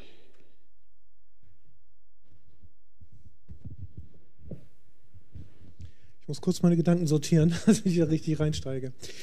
Ähm, das eigentlich Spannende ist ja, glaube ich, gar nicht mal so sehr, wie, wie das Projekt im Detail aussieht. Ich, ich will das gerne erzählen, aber Sie haben es gut zusammengefasst. Im, Im, Kern läuft es darauf hinaus. Alles andere sind, wie Herr Richter zu Recht sagte, dann nerdige Geschichten, wenn man dann in die Details geht, wie, wie Sachen funktionieren. Also ich bin gern bereit, wenn da Interesse besteht, das im Detail zu erzählen. Aber ich glaube, das ist nicht spannend. Spannender ist eigentlich, ähm, warum ist ein Unternehmen wie SAP mit der GIZ unterwegs und warum engagieren wir uns im Umfeld äh, in der Entwicklungszusammenarbeit? Und ähm, das Erste, was ich sagen möchte, wir sind bei weitem nicht die Einzigen, die das machen. Das ist äh, nicht ganz unrichtig. Herr Richter hatte schon mal die strategische Partnerschaft Digitales Afrika angesprochen, die vom BMZ getrieben wird. Der Name Günter Noke ist gefallen. Ähm, unter diesem Dach der strategischen Partnerschaft haben sich eine ganze Reihe von deutschen Unternehmen zusammengeschlossen und arbeiten mit dem BMZ und äh, den äh, angegliederten Organisationen wie GZ, KfW, GEW, ähm, DEG, Entschuldigung, zusammen. Ähm, und dem liegt die Erkenntnis zugrunde, dass, und das mag jetzt den einen oder anderen überraschen oder auch nicht, zunächst einmal ist das Interesse eines Unternehmens, Geld zu verdienen. Das ist so, jede, alle drei Monate müssen wir unsere, äh, unsere sogenannten Earnings kommunizieren und dann straft uns die Börse ab oder nicht. Und das ist nicht nur irgendwas, was dann Leute in, in uh, New York oder Frankfurt interessiert. Das hat ganz konkret Auswirkungen auf Arbeitsplätze hier in Deutschland, auf, auf unsere Arbeitsplätze, um das deutlich zu sagen. Äh, das heißt, für uns ist das nicht nur für unsere Aktionäre ist das wichtig, für jeden Mitarbeiter ist wichtig. Wir müssen Profit machen. Punkt. Ähm, deswegen können wir uns die sogenannten Corporate Social Responsibility Projekte, ne, Cashew-Initiative habe ich erwähnt, das sind Projekte, wo wir sagen, da ist uns der Profit vollkommen egal. Uns geht es da ausschließlich darum, was Gutes zu, zu machen, was wir für richtig halten. Die können wir uns nur bis zum begrenzten Punkt leisten. Wir haben dafür ein Budget bereitgestellt, aber wenn das ausgeschöpft ist, ist das ausgeschöpft und dann müssen wir warten, bis das nächste Budget kommt. Da geht es uns wie Ihnen äh, im, im öffentlichen Sektor. Also das ist das Erste. Auf der anderen Seite steht dann die Entwicklungszusammenarbeit, die, wie Herr Richter ja auch sagte, von einer anderen Logik, von einer anderen Rationalität getrieben ist. Da geht es nicht um Profitmaximierung oder Gewinnmaximierung, da geht es um, um, um Wohlfahrts, Wohlstand, Wohlfahrtsmaximierung, wenn ich das mal so, so ganz staatstragend sagen darf. Armutsreduzierung, ja, genau die andere Seite der Medaille. Und alle Unternehmen, die unter der strategischen Partnerschaft stecken und wir eben selber auch, sagen, das ist kein, nicht denknotwendig ein Gegensatz. Und das ist eigentlich der Kern der ganzen Angelegenheit. Diese beiden Sachen schließen sich nicht aus. Sondern es, es gibt Felder, wo, wo Profitstreben von Unternehmen ganz klar entwicklungspolitischen Ansätzen widers widersprechen. Ne? Also äh, hemmungslose Ausbeutung von Rohstoffen oder ähnliches wäre wär Beispiel dafür. Es gibt solche, wo, wo in Entwicklungszusammen, äh, entwicklungspolitische Vorstellungen nicht im entferntesten irgendwie einen Business Case für ein Unternehmen geben und dann gibt es eine riesige Schnittmenge. In dieser Schnittmenge äh, agiert die strategische Partnerschaft, agieren auch wir mit der GEZ. Ähm, wenn ich das mit den Uganda Coffee Farmers nehme, unser Interesse ist ganz banal, diese Plattform, ich habe Rural Sourcing Management erwähnt, zu verkaufen. Ähm, gleichzeitig unterstützen wir damit aber diese äh, Ziele der inklusiven, nachhaltigen Entwicklung im ländlichen Bereich von diesen von den Farmern. Ich habe alle, alle die Argumente ja vorhin schon gebracht. Hier kommen diese beiden Dinge zusammen. Und wir engagieren uns als SAP, aber das gilt nochmal, das gilt für, Merck ist ein gutes Beispiel, glaube ich, die, die ähnliche Dinge machen. DHL ist an der Stelle unterwegs. Auch viele kleine und mittelständische Unternehmen sind an der Stelle unterwegs. Wir suchen gemeinsam nach diesen beiden Feldern. Und SAP ist dann wiederum, und das, auch das klingt jetzt ganz her und abgehoben, das mögen Sie mir glauben oder, nicht, aber es ist tatsächlich wahr. Wir haben einen Wertekanon und dazu gehört oben drüber Make the World Run Better. Und daran versuchen wir uns auszurichten. Und das ist perfekt. Die, die Arbeiten im, Entwicklungs-, im Entwicklungsumfeld finden bei mir auch im Vorstand immer ganz, ganz hohe äh, Aufmerksamkeit und hohe Unterstützung, weil sie passen perfekt zu unserer Vision. Sie sind für uns ein Geschäftsmodell äh, und wir, äh, wir helfen dabei auch in der Entwicklungszusammenarbeit. Nach diesen Themen suchen wir. SORMAS war ein anderes Thema, Pilot, der Pilot, wenn ich den erwähnen darf, ist nämlich auch gemeinsam mit der SAP gemacht worden in, in diesem Zusammenhang. Äh, es gibt andere, andere solche Projekte, wo wir, wo wir zusammenarbeiten, aber es steht bei uns schon immer auch dahinter, unseren Markt zu vergrößern. Ja, danke schön. Ganz ehrlich glaube ich Ihnen sofort. kein, kein Zweifel. Ähm, jetzt, wenn ich richtig informiert bin, ist das Projekt vergangenes Jahr ausgelaufen. Das Konkrete jetzt mit den Kaffeebauern, mich würde einfach nochmal interessieren, wie geht es mit der App weiter nach Projektende? Es hat, den nächsten Status erreicht, es ist nicht ausgelaufen. Ja. Dezember 2016 haben wir eine strategische Partnerschaft für Uganda geschlossen mit dem BMZ. Ähm, GEZ führt wiederum aus. Insofern, also im Grunde genommen haben sie hier zwei Brüder sitzen, also zufälligerweise. Jedenfalls in den Projekten, die, über die wir jetzt im Moment sprechen. Ähm, wir wollen das gemeinsam ausrollen in, in Uganda. Es konzentriert sich im Moment auf Uganda. Die App steht bei uns auf der Preisliste. Die kann man ganz normal kaufen als, äh, als Interessent. Äh, also Sie werden kein Interesse haben, aber es, zum Beispiel habe ich vorgestern eine WhatsApp bekommen äh, vom Landwirtschaftsministerium eines westafrikanischen Staates, die, die die Presseerklärung gesehen haben, die GZ und wieder zu rausgegeben haben, die gesagt haben, das ist total spannend auch in unserem Land. Können wir das machen für unsere Farmer? Also es ist jetzt ein ganz normales Geschäftsmodell äh, für uns, das gleichzeitig Entwicklungs, äh, die SDGs unterstützt. Vielen Dank. Ähm, nicht nur SAP wittert neue Marktchancen in den digitalen Kanälen, sondern auch die großen Konzerne, andere große Konzerne wie Google oder Facebook. Äh, diese beschränken sich schon lange nicht mehr nur auf ihre Kerndienstleistungen, sondern auch verschreiben sich zunehmend der Weltrettung. Herr Pittelkoff hat selbst das Zitat genannt, Make the World One Better. Frau Fritsche, wie bewerten Sie das privatwirtschaftliche Engagement großer Digitalkonzerne in dem Bereich? Ja, ähm, ich sage mal so, wenn es, wenn es so getrieben ist äh, von den Überlegungen, die Herr Fischelko jetzt gerade ähm, gebracht hat, äh, dann klar schon auch erstmal positiv. Also ich, äh, ich glaube, es wird nicht ohne die Privatwirtschaft geben. Ähm, da gibt es einfach zu viele Möglichkeiten. Sie haben auch gesagt, es gibt sehr viele Interessen, die da der NZ entgegenstehen. Ähm, das ist natürlich auch richtig und es muss auch beachtet werden. Ähm, und man muss bei großen Konzernen natürlich immer davon ausgehen, dass sie, dass sie auch getrieben sind, äh, ja, ihren Markt gegebenenfalls zu ver, ver, vergrößern. Also ich glaube, dass da ganz klar ökonomische Ziele auch dahinter stehen. Ähm, das ist, das ist ganz klar, aber halt auch nicht nur. Also da gibt es einfach auch, Herr Pettelko hat es ja gerade genannt, ähm, sehr viele gute Beispiele.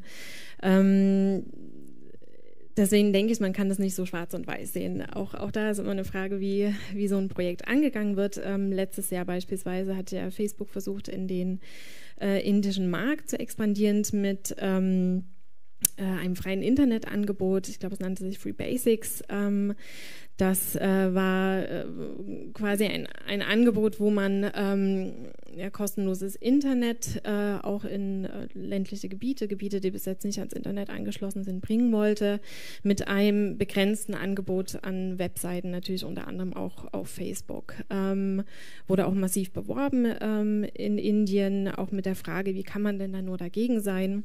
Letzten Endes gab es allerdings sehr, sehr viele Leute, die dagegen waren, ähm, weil sie gewisse Grund Grundprinzipien Prinzipien ähm, auch eines freien Internets gefährdet gesehen haben, beispielsweise die Netzneutralität, wenn man eben sagt, wir schaffen hier eine Nische, da gibt es kostenloses Internet oder Internet zu, zu einem sehr, sehr geringen Preis ähm, vielleicht. Ähm, aber es gibt nur gewisse Seiten, die abgerufen werden kann, ähm, dann privilegiert man natürlich ähm, bestimmte Unternehmen, bestimmte Informationsangebote über anderen verfügbaren äh, Informationsangeboten.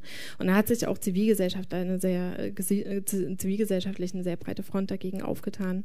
Ähm, letzten Endes ähm, ging das auch so weit, dass dann ähm, die Initiative ähm, äh, hier zu einem Ende gekommen ist und nicht erfolgreich gewesen ist, ähm, welche Rolle dann andere Überlegungen, wie man ähm, das freie Internet oder kostenlosen oder gering kostenden ähm, Zugang zu Internet in Indien organisiert, das will ich jetzt mal außen vor lassen. Aber das Beispiel zeigt einfach, ähm, äh, dass die Frage auch ist, wie so ein, wie so ein, ein Projekt von einem großen privatwirtschaftlichen äh, Konzern dann auch Interessen ähm, berührt und von Zivilgesellschaft auch berührt und welche Werte es dann gegebenenfalls auch in Frage stellt und dass da durchaus eben auch aus den Gesellschaften dann auch, auch Widerspruch kommen kann. Und ich glaube, das an sich ist aber auch sehr wichtig, weil dann wird sich eben auch mit so Themen beschäftigt wie mit ähm, Datensicherheit, Netzneutralität etc. Das stößt äh, einen gesellschaftlichen Diskurs auch an.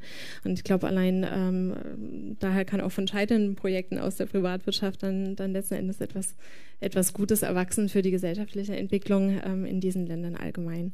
Ähm,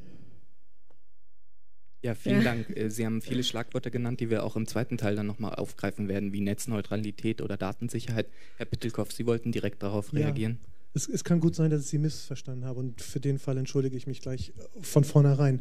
Aber ähm, was, was ich so ein bisschen höre, und das habe ich auch in den, in den einleitenden Bemerkungen gehört, ist immer so ein bisschen dieser Gegensatz.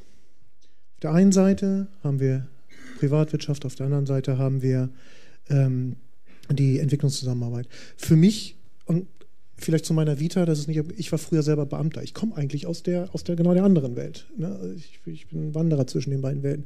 Äh, für mich ist das nicht schwarz und weiß.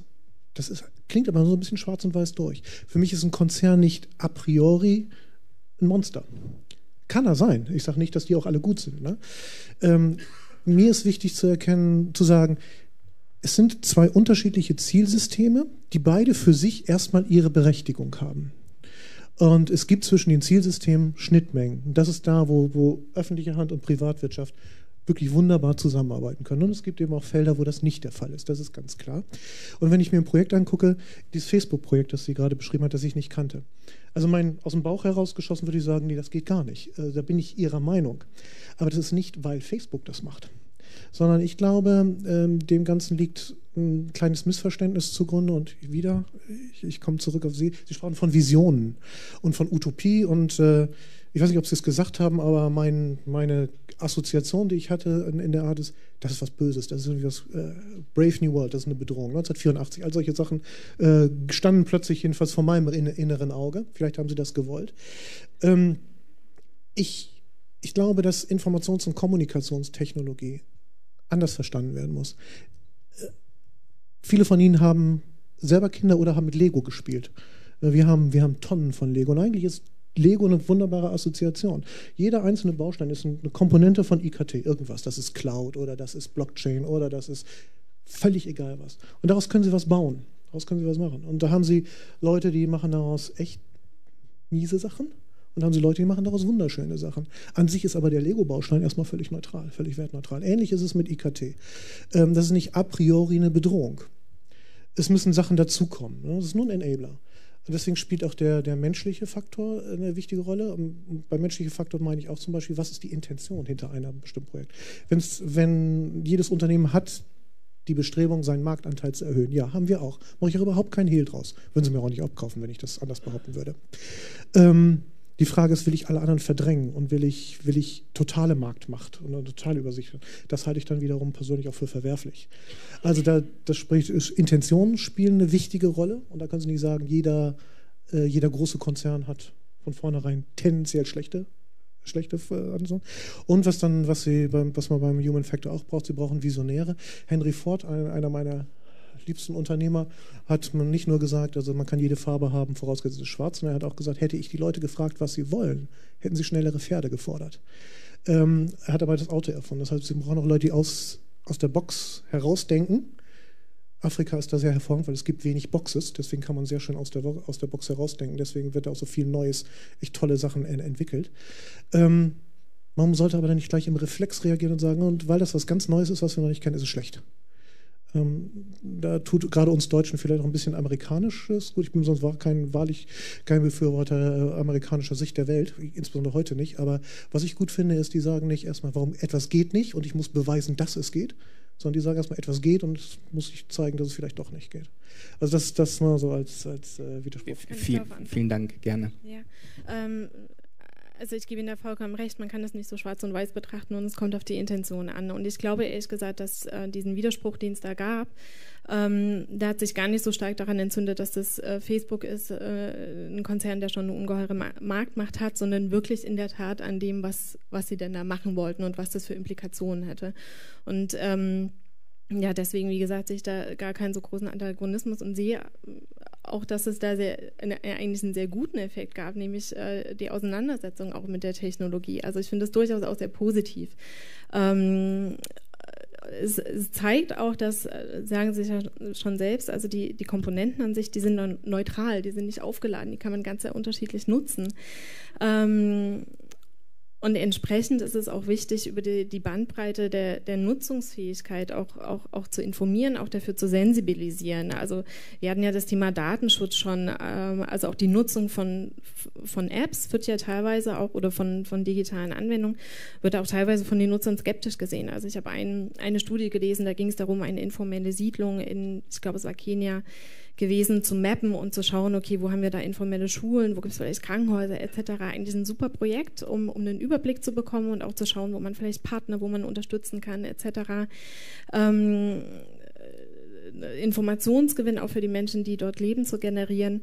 Das wurde teilweise aber sehr skeptisch gesehen, weil man dachte so, man gibt da jetzt Informationen preis, wo man auch nicht weiß, wie die genutzt werden und die dann, wenn es dann eben auch gerade äh, als offene Informationen, als offen, Open Data ähm, zur Verfügung gestellt wird, auch von Regierungsseite beispielsweise genutzt werden kann. Ähm, also da, äh, da, haben auch viele dieser Technologien eine Akzeptanzfrage. Ähm, und das, und das ist richtig, dass sich damit auseinandergesetzt wird. Und ich glaube, dass auch die Zivilgesellschaft da eine sehr große Rolle spielt, ähm, solche Themen dann vielleicht auch zu vermitteln zwischen, zwischen EZ, Privatwirtschaft etc.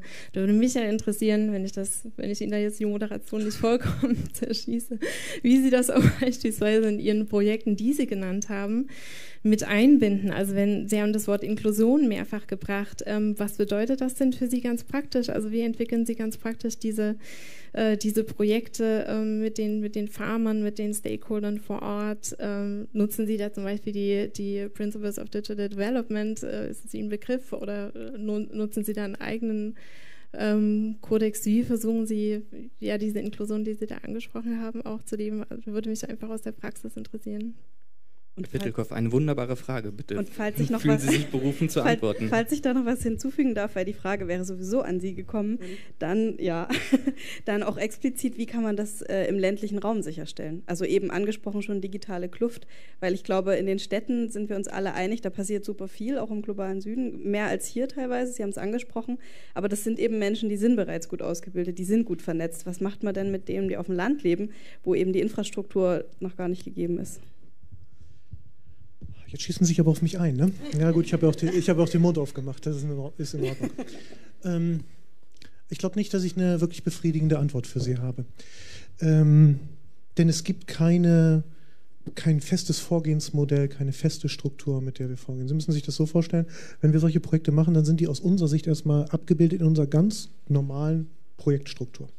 Wie wir sowas halt normalerweise machen. Äh, ob wir bei Barbour das äh, Einkaufserlebnis im Shop verbessern oder ob wir äh, die, das, äh, den Vertrieb von Cashewnüssen verbessern, ist zunächst einmal aus dem Projektvorgehensmodell für uns gleich. Das mag ein bisschen komisch klingen, ist, ist, aber tatsächlich so. Es gibt bestimmte Phasen. So, jetzt fragten Sie, äh, daran erkennen Sie schon, dass, ich, dass die mir kein Begriff sind, ob wir wen einbinden. Wie haben Sie die, wie hießen die? Äh, die, die, Principles of Digital Development. So, daran erkennen Sie, und da werde ich zurückgefragt haben, dass wir das nicht tun. Ähm, es ist aber auch so, und da gucke ich genauso gut auf uns, das sind häufig eben aus diesem gefühlten Gegensatz, aus diesen gefühlten getrennten Welten, äh, häufig keinerlei Berührungspunkte. Sie sehen, ich weiß nicht mal, dass es die gibt. Ähm, was wir wissen, ist halt, äh, die, wir kennen die, die Strukturen der USAID, wir kennen die Strukturen der GIZ. Äh, der Weltbank, die allerdings nicht direkt in der technischen Zusammenarbeit aktiv sind, sondern eigentlich eher nur finanzieren. Solche Strukturen nutzen wir, aber das ist eine Case-to-Case-Frage. Also die eins, Sie müssen insbesondere in Afrika, ist die lokale Vernetzung absolut entscheidend. Und da können Sie nicht sagen, die GEZ ist immer bestens vernetzt. Ist so manchmal eben nicht. Das sind manchmal ganz andere Spieler, die eine Rolle spielen. Wenn ich über Ghana gesprochen habe, war Planet Finance spielte eine ganz große Rolle, dieser Mikrofinanzierer. Das heißt, wir gucken dann wirklich im Vorfeld, wir nennen das Stakeholder-Analyse, weil alles hat ja irgendwelche Begrifflichkeiten im Vorgehensmodell. Die versuchen wir einzubinden. Und wenn ich jetzt nach rechts gucke zum, äh, äh wie machen wir das im ländlichen Raum? Sie müssen dazu wissen, dass unsere Projekte häufig mit Partnern äh, eingeführt werden. Also wir haben wiederum auch Einführungspartner, Leute, die unsere, unsere Software konfigurieren. Ich weiß nicht, wie, wie, vertraut sie mit uns sind, aber ganz simpel gesagt stellen wir, stellen wir sowas wie auch wieder wie Lego-Baukasten zur Verfügung. Jemand steckt das zusammen und baut daraus ein wunderschönes Schiff, Haus, Auto oder was auch immer. Und der, der das macht, das, den nennen wir Konfigurations- oder Einführungspartner, der, der auf unserer Software arbeitet. Da arbeiten wir insbesondere in Afrika nahezu ausschließlich also Subsahara. Ich rede über nicht über Südafrika, ich rede über Subsahara-Afrika. Und ausschließlich mit lokalen Partnern zusammen. Da haben wir eine Handvoll, sechs, sieben, die wirklich sehr, sehr erfahren sind, die dann auch lokale Strukturen haben. Case by Case, kommt aufs Land an, kommt auf die Themenstellung an, das ist eine Matrix und äh, das nutzen wir. Ich sagte ja von Anfang zu Anfang schon, es ist keine befriedigende Antwort, sondern es ist wirklich eine Fall zu Fall zu Fall Betrachtung, weil das viel zu komplex ist. Ich meine, wir reden über einen Kontinent mit 54 Ländern. Ich kann Ihnen nicht die Afrika-Lösung geben. Geht nicht. Herr Richter, was machen wir jetzt damit? Können wir erwarten, dass sich die IT-Giganten um das Wohl der Menschheit kümmern? Ich fange mal, fang mal auch nochmal bei meiner äh, ganz kurz an, weil es steht ja so ein bisschen im Raum, Digitalisierung als Utopie oder reale Möglichkeit. Hm. Ich habe vor zehn Jahren im Medienbereich gearbeitet und ich habe mitbekommen, wie die, der digitale Wandel bei Axel Springer stattgefunden hat. In einem unfassbaren Change-Prozess und zum Schluss stand Digital First. Und äh, das ist übrigens die Frage gewesen, ob äh, der Konzern überhaupt überlebt. Und das gibt es auf Bild.de Bezahlmodelle, die funktionieren. Das ist, glaube ich, die einzige Website, die das hinbekommen hat. So, ne?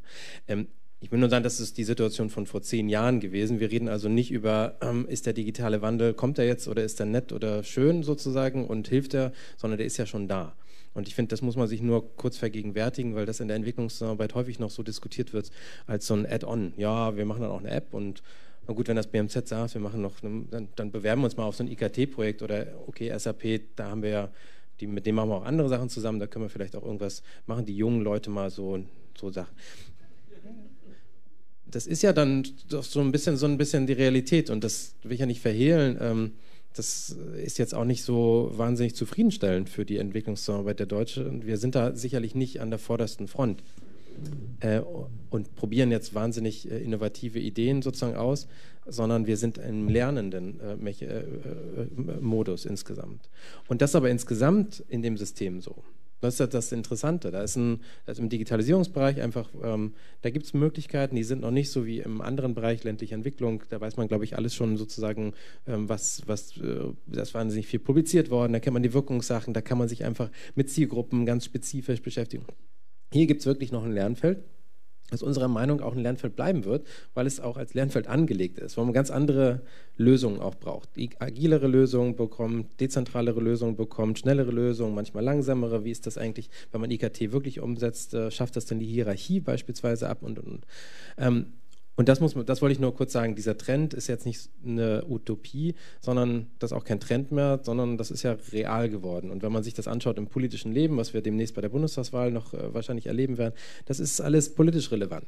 Und die Entwicklungszusammenarbeit muss dort eine Antwort darauf finden, weil, und ich sage gar nicht, weil das wichtig für BMZ oder GEZ oder für Herrn Pittelko ist, ähm, sondern weil es einfach unseren Partnerländern und ganz praktisches Beispiel, in Pakistan bin ich vom Landwirtschaftsministerium, äh, vom äh, Kommunalministerium gefragt worden, weil wir da dezentrale Entwicklung, ähm, ja, ein Dezentralisierungsprogramm, um es einfach zu machen, gemacht haben. Ähm, die haben gesagt, ja, Indien ist jetzt mit, mit, mit, ihrer digitalen Agenda massiv in der Umsetzung, wir wollen auch was machen, ähm, weil wir sind ja besser als Indien. Und deswegen brauchen wir die GEZ und wir wollen mit euch einfach äh, unsere 120.000 kommunal ähm, äh, gewählten Kommunalvertreter, die wir jetzt gerade gewählt haben, die wollen wir mit einem Informationsmanagement Managementsystem unterstützen. Das ist die Anfrage. Das ist jetzt nicht irgendwie eine Sache, die wir uns sozusagen ausgedacht haben, sondern das ist in, im ländlichen Pakistan, in Punjab und in, in Khyber Pakhtunkhwa, das ist die Anfrage. Und mit der müssen wir umgehen. Und vor dem Hintergrund sozusagen würde ich es gerne aufziehen. Die Partner machen diese Anfrage mittlerweile und wir brauchen da klare Antwort. Ganz kurz, um wie, wie wir es machen können und da ganz kurz es, es, braucht einen Rahmen, da können wir uns ja danach nochmal unterhalten. Ähm, es ist, glaube ich, sehr wichtig, dass gestern auf der Republika der Staatssekretär Silberhorn die digitale Agenda gelauncht hat vom BMZ, die sagt, ähm, wir haben einfach hier einen Rahmen, wir wollen Beschäftigung fördern, wir wollen Demokratie unterstützen, wir wollen Menschenrechte unterstützen, wir wollen Leuten auf der Flucht äh, mit IKT helfen, also einfach Prioritäten benannt hat und auch gesagt hat, wie man es dann umsetzt, welche Prinzipien wir machen. Und das wird auch der Rahmen sein, mit dem Herr Pittelko dann mit dem BMZ in Develop-Vorhaben oder mit GZ-Vorhaben dann einfach kooperieren kann. Und der ist jetzt nicht frei in der Luft herum, sondern der hängt an der digitalen Agenda der Bundesregierung dran. Und es gibt da eigentlich klare Prinzipien auch zum Thema Datenschutz da drin. Und es gibt auch klare Prinzipien, wie man das alles sozusagen Internet-Governance dann umsetzen möchte oder IKT-Governance umsetzen möchte. Die müssen jetzt umgesetzt werden, auch in der Entwicklungszusammenarbeit. Und das ist ein spannendes Feld, weil es da einfach noch viel zu äh, Designen gibt. Da kann man sich dann auch überlegen, wie man das monitort, wie man das auch beispielsweise von den Nutzern dann monitort. Ne? Das ist ja eine gute Möglichkeit, Crowd äh, einzubinden. Das alles, was wir ja quasi als normal äh, Facebook-User machen, da auch, das ist, hat auch was mit der, Inter mit, mit der Entwicklungszusammenarbeit zu tun. Und der, der dritte Punkt, den ich sagen wollte, wir tun dann immer so, als ob es sozusagen ein deutsches, also als ob man ganz viel von Deutschland lernen kann. Das stimmt ja, von, von, von, von den Erfahrungen, von der Entwicklungszusammenarbeit, die wir haben, von, äh, äh von, von Siemens oder von SAP, mit denen wir zu tun haben, von, äh, von Autodesk und das ist jetzt kein deutsches, aber wir haben so eine, so eine Allianz von Partnern, von denen man sehr gut lernen kann und wir haben einen unglaublich äh, nachgefragten ähm, sozusagen IT-Markt, wo es um Datensicherheit geht. Da wird sich Deutschland auch positionieren und sagen, hier ist einfach auch für uns ein Kriterium drin. Gleichzeitig haben wir aber auch ganz viel zu lernen von Ländern wie Estland, Korea oder Ruanda.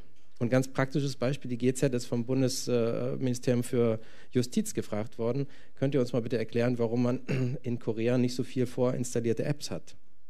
Und also jetzt, ne, das ist jetzt nicht der digitale äh, Süden, aber man könnte relativ einfach von Ruanda lernen, wie man eine Digitalisierungsstrategie politisch relevant umsetzt. Und zwar auf oberster Priorität und sozusagen äh, in einer anderen Form, wie wir es machen. Und da müssen wir, glaube ich, hinkommen, dass wir das nicht als Feld sehen, Deutschland hilft dem globalen Süden, sondern im Digitalisierungsbereich sind wir alle Lernende voneinander. Und das ist eine komplette Veränderung der Situation und das wird auch andere Projektformen bringen.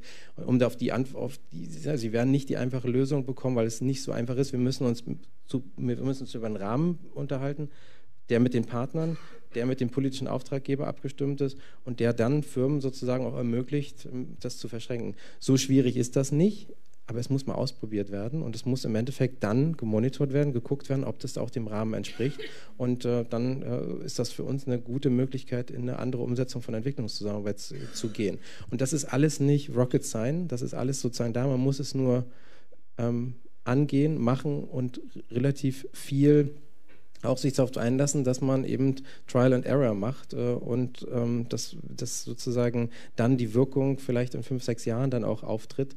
Ähm, aber die Zeit sozusagen braucht es auch, um sowas mit SAP beispielsweise sich, nicht fünf, sechs Jahre, da sind sie dann auch dann weg, aber ähm, äh, um, um einfach das von der öffentlichen Hand einfach klarzulegen, das ist der Rahmen und in dem Rahmen wollen wir das ausprobieren und ich möchte echt nochmal darauf hinweisen, es geht um den Partner auch und wenn der Partner das annimmt und die deutsche Bundesregierung das mit vervielfältigen Tool unterstützt und wir sicherstellen, dass verschiedene international gültige Rechte, Digital Principles and Rights und sowas umgesetzt werden. Das ist wunderbar. Eine der Sachen steht, äh, steht in der digitalen Agenda drin, die wir mitgebracht haben, ähm, die gestern quasi druckfrisch gekommen ist. Und ähm, wir werden uns mit diesen Trends einfach grundsätzlich beschäftigen müssen. Ansonsten beschäftigen sich die Trends nämlich mit der Entwicklungszusammenarbeit und designen die Entwicklungszusammenarbeit der Zukunft. Das wäre jetzt schade, weil da würde viel von dem, was wir an sehr guten Lösungen haben, schnell über Bord geworfen werden, weil es politisch dann en vogue ist, ähm, einfach was Neues zu machen und auch neue Partner äh, sozusagen mit einzubinden. Wir haben auch nichts gegen neue Partnerschaften, aber sie müssen schon einem gewissen äh, Mechanismus folgen, wie sie dann sicherstellen, dass das Interesse der Bundesregierung und das Interesse des Staates gewährleistet ist. Und darum sozusagen geht es uns formal, aber auch in den ganz normalen Prinzipien, die wir haben. Manchmal sind die noch ein bisschen lang, gebe ich Ihnen recht, aber auch die können digitalisiert werden. Sie haben die Digitalisierungsstrategie angesprochen, beziehungsweise die digitale Agenda des BMZ. Da würde ich gerne noch mal drauf eingehen, denn die kam auch nicht aus dem politischen Off. Es gibt auch die Digitalisierungsstrategie der Bundesregierung und mit der digitalen Agenda hat das BMZ eine erste Konkretisierung dann auch im, am Ende auf Implementierungsebene vorgelegt. Sie haben Handlungsbedarf schon vorskizziert. Wo sehen Sie gegebenenfalls Best, Best Practices auf internationaler Ebene? Gibt es Akteure konkret im multilateralen, multilateralen Bereich, von denen Sie lernen können? Also Handlungsbedarf hatte ich ja schon gesagt, dass, glaube ich, die Wirkungsdiskussion ähm, ne, ein wichtiger Thema ist, wenn es hier so ein Politikwerk gibt, wie wird das umgesetzt? Durch verschiedene Portfolios, durch verschiedene Fonds ähm, muss das umgesetzt werden und dann die Wirkungsdiskussion. Was, glaube ich, wichtig ist, dass es eine andere Logik folgt, so einer äh, so eine, so eine Digitalisierungsansätze, dass man sich eben überlegen muss, wie können neue Partner eingebunden werden. Ganz praktisches Beispiel, wenn man in den Regierungsverhandlungen sitzt und das Bundesministerium zusammen mit dem Finanzministerium über Budgets redet, und sagt, das wollen wir im Bereich TZ machen, das wollen wir im Bereich FZ, also finanzielle und technische Zusammenarbeit machen, ähm, dann sitzt da jetzt kein innovativer Think Tank äh, mit dabei und da sitzt auch kein ähm, äh, Startup-Unternehmen mit dabei und da sitzt auch kein äh, äh Impact Hub oder ähm, sozusagen ein, ein, Innovation Lab mit dabei. Die wären aber grundsätzlich schon wichtig, ähm, in so einem Projekt einfach mit einzubeziehen, weil sie unserer Meinung nach auch Partner sind immer vor der Logik, ob sich das die beiden Länder vorstellen können, aber grundsätzlich braucht es neue Formen, wie diese Partner eben in so Projekte reinkommen, damit wir nicht immer die gleichen sozusagen Sachen machen, sondern auch Partnersysteme sich verändern. Und es braucht neue Methoden. Und bei den Methoden ist wichtig, dass die ähm, nicht nur ähm, Nerds ähm, glücklich machen, sondern dass sie wirklich wirksam sind. Und diese Wirksamkeit muss nachgewiesen werden und dann wird es auch bei GEZ und KfW, ähm, äh, bei DEG dann äh, auch, auch, Tools geben, die funktionieren, Fonds, die funktionieren bei der KfW, ähm, Startup-Ansätze bei der GEZ, die funktionieren, Accelerator-Systeme, die funktionieren, App-Lösungen, die funktionieren. Und da, da fängen, fangen die Durchführungsorganisationen gerade mit an, sowas äh, zu machen. Und der dritte Sache, die dritte Sache ist, einfach zu gucken, was gibt es an Trends. Und einfach nicht von Trends überrascht zu werden, sondern einfach zu schauen, okay, es gibt ein paar Trends, Big Data, Internet of Things, Blockchain, das sind alles so Sachen. Ja, was heißt das dann eigentlich ganz konkret? Ne, was, was, was sind das für Möglichkeiten, was sind das für Risiken, was sind das für Chancen und wie kann man das um, ausprobieren? Und da haben wir auch mit, haben wir mit Better Place einen sehr guten Partner gefunden, haben einen Trendradar gelauncht, der liegt auch draußen, der beschäftigt sich damit, ähm, wie, das, ähm, äh, wie die SDGs auch von digitalen, von digitalen Methoden und Maßnahmen unterstützt werden kann und entmystifiziert auch vielleicht ein bisschen die Herangehensweise.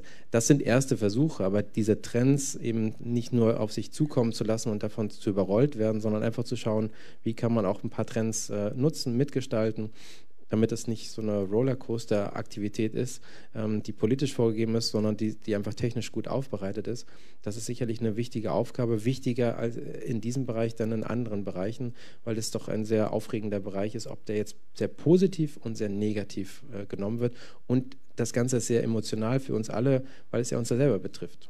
Das ist ja nicht nur derjenige in dem globalen Süden, der jetzt ein Projekt der jetzt ein Projektnutzer sein soll, sondern es betrifft uns ja selber und das macht das alles so komplex. Deswegen ist die Antwort auch immer sehr lang und ähm, vielleicht auch ein bisschen unsortiert, aber genau so schaut es aus und Mitmachende sind da einfach sehr angeregt, äh, sich einzubringen, weil es jetzt Leute braucht, die einfach diesen Tiger reiten sollen und Tiger reiten müssen. Ansonsten werden wir dann irgendwann mal designt von diesem Tiger. Herzlichen Dank für Ihre Einschätzung. Ich würde gerne nochmal auf meine Frage zurückkommen. Sehen Sie denn andere Entwicklungsagenturen, andere Entwicklungsakteure, die da schon deutlich einen Schritt weiter sind, wo man sich gegebenenfalls Tools und Methoden abschauen kann? Also es gibt auf der internationalen Ebene mit der ITU den, den, den Dachverband sozusagen der ähm, International Telecom Union, ähm, die im Endeffekt diesen Bereich abdecken. Es gibt den, ähm, den Bereich von GSMA, dem Dachverband der, der äh, Mobilfunkanbieter, mit denen wir gut zusammenarbeiten, wo wir im Endeffekt Austauschformate haben. Ähm, dann gibt es ähm, sicherlich mit den schwedischen CIDA und mit, mit, mit äh, DFID aus Großbritannien ähm, Kollegen, die ein bisschen weiter sozusagen sind ähm, in der Umsetzung und, äh, von Projekten. Aber es ist eigentlich eine, eine, eine, genuine Verschränkung, dass, dass man sehr voneinander lernt und dass es da auch einen klaren, klaren Austausch gibt. Ähm, die haben auch eine andere Herangehensweise an Wirkungsthematik bisher und denen folgen sie auch. Also ich würde sagen, wir sind sehr gut dezentral aufgestellt ähm, und auch in der praktischen, äh, praktischen Umsetzung haben wir sehr, sehr viele Erfahrungen. Ähm, vielleicht ist der Politikrahmen ähm, ein bisschen weiter in anderen Ländern, aber wir reden da über äh, ein, zwei Jahre Unterschied, äh, nicht mehr. Und man, die Europäische Kommission hat gerade ihr, ihr, ihre Hausaufgaben, äh, die SHEDEFCO, zu dem Themenbereich gemacht. Das ist alles ein ähnlicher sozusagen Schritt, aber er wird auch ähnlich gemacht es ist immer ein Multi-Stakeholder-Ansatz, es sind immer Firmen mit dabei, es sind immer ähm, äh, Thinktanks mit dabei, es sind immer digitale Akteure mit dabei, es ist immer der Versuch der Einbeziehung der, äh, der, der, der Zivilgesellschaft, ähm, auch der Personen. Ähm, und insofern ist die Diskussion eine offene. Und das ist das Schöne, dass das ja auch äh, gelebt wird, dieses Open Source. Das ist ja zumindest eine der Ideen, die das BMZ auch sehr wichtig findet, dass man sagt, die Sachen müssen dann grundsätzlich äh, sozusagen auch der Öffentlichkeit zugutekommen. Vielen Dank. Ich würde die Diskussion gerne nochmal einfangen und wieder auf unsere ursprünglichen Sektoren zurückführen. Über Landwirtschaft haben wir ausgiebig bisher gesprochen. Gesundheit haben wir immer mal wieder angekratzt. Beispielsweise hat Herr Richter das Präventionsprogramm der GEZ eingeführt, äh, eingeführt. Oder wir haben auch über Blockchain gesprochen. Im Gesundheitsbereich ein wichtiger Faktor meines Wissens nach ist die Bill und Melinda Gates Stiftung da neulich eingestiegen und hat ein Blockchain-Unternehmen mehrere hundert Millionen Euro zur Verfügung gestellt, um ja, Medical Records quasi innerhalb der Blockchain zu speichern. Nochmal ganz kurz Blockchain, dieser Begriff schwirrt ständig rum. Blockchain kennen vielleicht die wenigsten, Bitcoin kennen vielleicht die meisten, die SLEler auf jeden Fall. Ähm, den singe ich immer ein Lied davon. Das ist, glaube ich, so ziemlich die bekannteste Blockchain-Anwendung eben als entsprechende digitale Währung. Nochmal auf den Gesundheitsbereich zurückzukommen. Insbesondere in ländlichen Regionen gilt die Gesundheitsversorgung oftmals ja als problematisch, sowohl im Präventionsbereich als auch im Diagnose- und Behandlungsbereich. Gerade dort, wo dann eben andere Formen der, des Zugangs fehlen, scheinen digitale Technologien auf den ersten Blick ja ein erhebliches Potenzial entfalten zu können. Frau Fritsche, die Frage geht an Sie. Glauben Sie, dass digitale Technologien wirklich Lösungen anbieten können, sowohl was Qualität der Gesundheitsversorge angeht, als auch den Zugang zur Gesundheitsversorge? Ja, also ich denke schon, dass ähm, sie Teil der Lösung sein können. Das ist jetzt nicht unbedingt meine Spielwiese der Gesundheitssektor in dem Bereich, aber wenn man sich so anschaut, was da an Möglichkeiten gibt, ähm, da habe ich vor kurzem etwas gelesen, dass man ähm, Smartphones wo so ausrüsten können, dass sie als äh, Ultraschallgeräte genutzt werden können. Also wenn man sich das vor Augen hält, was das heute eigentlich noch bedeuten wird, in eine Praxis zu gehen, riesiges Gerät, Ultraschall. Ähm, jetzt kann man das mit dem Smartphone gegebenenfalls machen, was das für, für Schwangere, also für, für, für die Sorge auch ähm, da im ganzen Bereich ähm, Müttergesundheit, Kindergesundheit bedeuten kann, ähm, vorgeburtliche Vorsorge etc. in ländlichen Gebieten, dann ist das, ist das schon enorm. Ähm, aber auch hier ist die Technik halt immer nur ein Teil. Also es muss auch jemand bedienen können, es muss jemand äh, interpretieren können, es muss jemand was mit den Daten anfangen können. Ähm, es muss überhaupt als die richtige Frage gestellt werden, äh, um dann zu gucken, welche Technologien setzen wir da ein. Also das, das ist immer im Kontext zu sehen.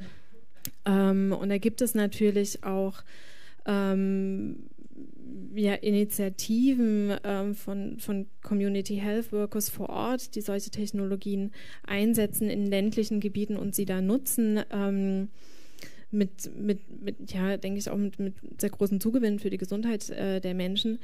Ähm, aber wenn man sich das gesamte System dann anschaut, äh, gibt es eben auch da Herausforderungen, die, die einfach nichts mit Technologie zu tun hat, nämlich wie zum Beispiel das Gesundheitssystem an sich organisiert ist und wie dann Personen, die diese Technologien auch vor Ort in die Dörfer bringen, vielleicht ähm, institutionell eingebunden sind, also wie integriert sind, ähm, ob die da einen formalen Status haben, ob es da eine Anbindung an, an größere Gesundheitsinfrastrukturen gibt etc. Also ich glaube, ähm, dass die Technologien an sich da klar schon das Potenzial haben, aber man muss halt immer äh, schauen, wie sie denn eingesetzt werden, wer sie auch wirklich nutzen kann. Ist es, ist es vielleicht auch nur etwas Singuläres? Also äh, auch ich denke schon, dass es ein, ein Stück weit einen, einen, Boom auch gibt bei den Technologien, dass da ganz viele kleine Projekte, jemand hat eine Idee, Mensch, das können wir doch machen, das kann, kann, können wir mit unserem Smartphone, da können wir eine Plattform machen.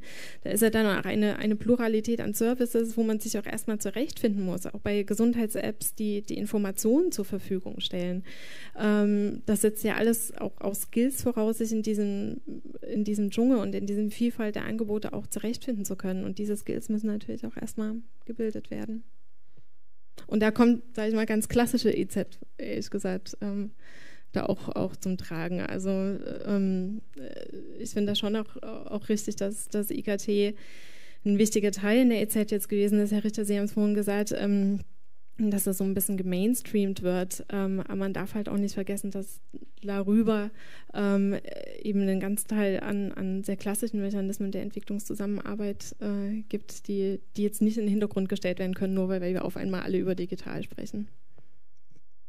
Ja, wir haben jetzt bereits einige sehr wichtige Punkte angesprochen. Allerdings gibt es zumindest aus meiner Perspektive noch eine Sache, die mir besonders am Herzen liegt, die wir noch gar nicht bedacht haben in der Diskussion, nämlich bei allen Vorteilen, die man in der Digitalisierung sieht. Sie geht eben einher mit einem steigenden, äh, gestiegenen Energie- und Materialbedarf, denn im Gegensatz zu den Daten, die dabei generiert werden, äh, bestehen die Smartphones, Server und auch Tablets eben nicht aus Nullen und Einsen, sondern aus Metall, Kunststoff, Mineralien oder auch seltenen Erden. Und wenn wir uns einmal anschauen, wo diese Ressourcen herkommen und wie sie dort abgebaut werden, dann sind das oftmals Bedingungen, die eben eher ausbeuterischen Charakter haben. Hinzu kommen immer kürzer werdende Produktzyklen der Geräte und auch die Frage der Entsorgung von Elektroschrott. Und bevor Sie uns verlassen, Herr Pittelkoff, würde ich Ihnen einfach gern nochmal die Frage stellen, wie können denn Aspekte der Nachhaltigkeit wie eben ein verringerter Ressourcenverbrauch oder auch gesteigerte Sozialstandards sichergestellt werden bei der Produktion der Technologien, die für die Digitalisierung nötig sind? Was habe ich Ihnen getan? ähm, Sie müssen dann gehen. ja, ich muss dann gehen, genau. Ähm, Nochmal wir sind im Bereich der Nullen und Einsen aktiv. Ähm, Soll ich Ihnen helfen? Sie helfen mir gleich, aber in Teil, bitte, Herr Richter. Ähm, wir sind im Bereich der Nullen und Einsen, aber auch da geht es um Energie. Also zu dem, zu dem Feld kann ich was sagen. Wenn es dann um das Telefon geht, da Aber eine Meinung haben Sie sicher? Ich habe dazu eine Meinung, ja. Aber, ähm, man darf nicht verkennen, dass auch ganz normale technologische Abfragen unheimlich Energie verbrauchen. Ne? Server rennen, äh, da, da, geht eine ganze Menge Energie ver äh, verloren. Und hier finde ich, dass äh, möglicherweise ein Weg vorwärts äh, ist, ähm, den hat Frau Fritsch schon angesprochen, das Ganze eben nicht als rein digital zu sehen und sich auch von diesem ähm, Deus Ex Machina Approach zu lösen. Es spielen auch immer Menschen eine Rolle. Ich nehme noch mal Ihr Beispiel, Health App. Ähm, wir hatten mal ein äh, sogenanntes Lab of Tomorrow. Ähm, da, da, ging es darum, äh, wie kann man ähm, den Zugang zu Gesundheitsversorgung für jedermann sicherstellen. Und da gab es einen Strom, der sagte, ja, wir machen einfach eine App, die jeder hat, jeder benutzen kann. Und da sagt, gibt man seine Symptome ein und äh, kriegt dann eine Diagnose und da sagt man, gehst zum Apotheker, kaufst das oder gehst zum Arzt und kaufst jenes. Ähm, ich glaube, wenn man den Weg wenn man in die Richtung läuft, dann wird das nicht nur inhaltlich in die Lehre führen, sondern natürlich auch zu enormem Energieverbrauch fahren, weil da entsteht Traffic, sogenannter Traffic, der für nichts und wieder nichts entsteht. Deswegen glaube ich, der erste, der erste Punkt ist, Mensch, Menschen dazwischen zu schalten. Ich glaube an dieser Stelle, in diesem Beispiel, dass es gut wäre, wenn ein äh, Community Health Worker mit so einem Gerät ausgestattet ist, der aber auch interpretieren kann, der auch entsprechend nicht nur Digital Literacy verfügt, sondern auch über medizinische Kenntnisse, um Dinge einzu, einzuordnen. Das heißt, ich glaube nicht an die zwingende Notwendigkeit der Explosion von, von mobilen End, Endgeräten über das hinaus, was es heute bereits gibt. Wenn ich an Rural Sourcing denke, da in Uganda ist ein Mobiltelefon für 1400 Farmer. Eins zu 1400. Das ist dann, dann etwas harmlos. Das zweite ist, äh, Cloud-Technologie wird eine wichtige Rolle spielen in dem Zusammenhang. Ähm, ich glaube, Cloud ist, ist, ist weitgehend jeder von Ihnen benutzt das, vermute ich, weil Sie wahrscheinlich Ihr E-Mail-Konto auf, auf einem Cloud-Server haben, ob Sie das wissen oder nicht. Ähm, da, da, teilt man Ressourcen. Das, das ist ein, ein, zweiter Weg vorwärts, da wo wir, wo wir arbeiten. Wir arbeiten ferner daran, dass unsere Applikationen weniger Rechnerleistung verwenden klingt auch irgendwie doof, klingt, als ob es nur ums schneller geht. Nee, es geht auch um Energieverbrauch. Also wenn Sie unsere Rechenzentren sehen, der Energieverbrauch in unseren Rechenzentren geht dramatisch runter, weil wir die Architektur unserer Software vereinfachen und damit weniger Rechenkapazität brauchen. An solchen Stellen äh, können Hersteller Einfluss nehmen, können die Konzepte, die prozessualen Konzepte einstellen. Und wenn es jetzt um, das, um die seltenen Erden geht, da gebe ich mal Herrn Richter und die Frau Fritsche weiter. Weil da habe ich nur eine, nur eine, Meinung, aber die geht nicht über das hinaus, was ich in der Zeitung lese und was ich so als politisch denkender Mensch meine. Dann bitte Sie. Das ist ja der Anfang und das Ende sozusagen dann.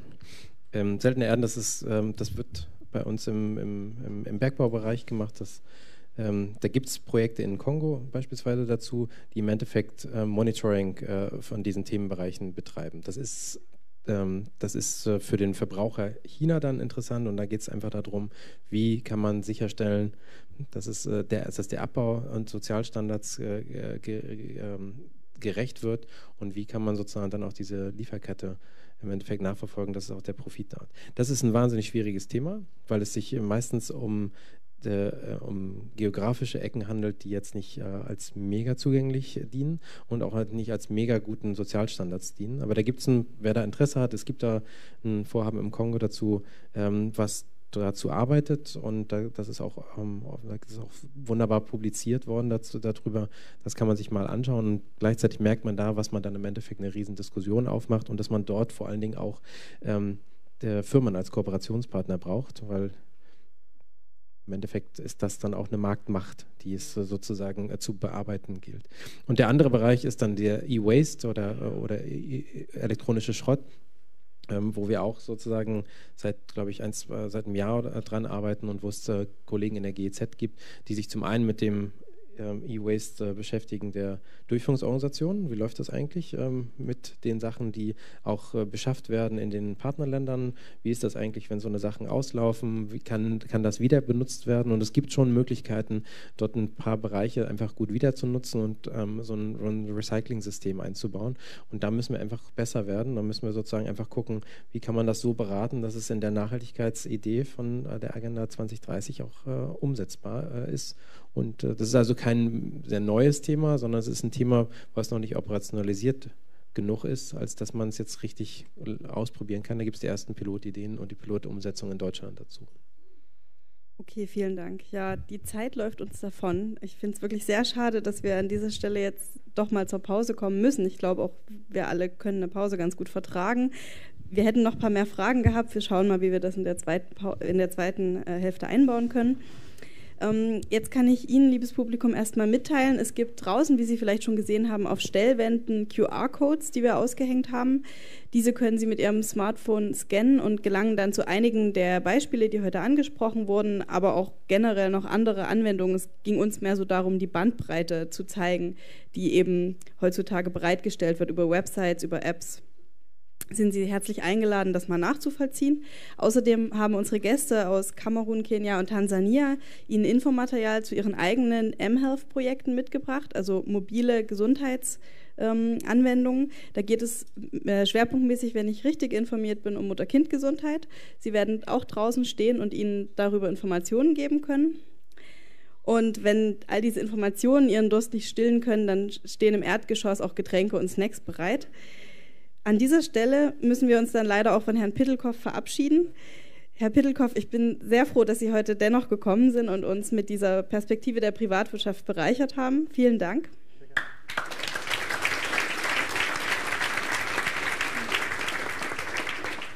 Und wir treffen uns dann hier alle in einer halben Stunde wieder um 11.15 Uhr und dann wird es um notwendige Rahmenbedingungen für die Digitalisierung gehen. Vielen Dank.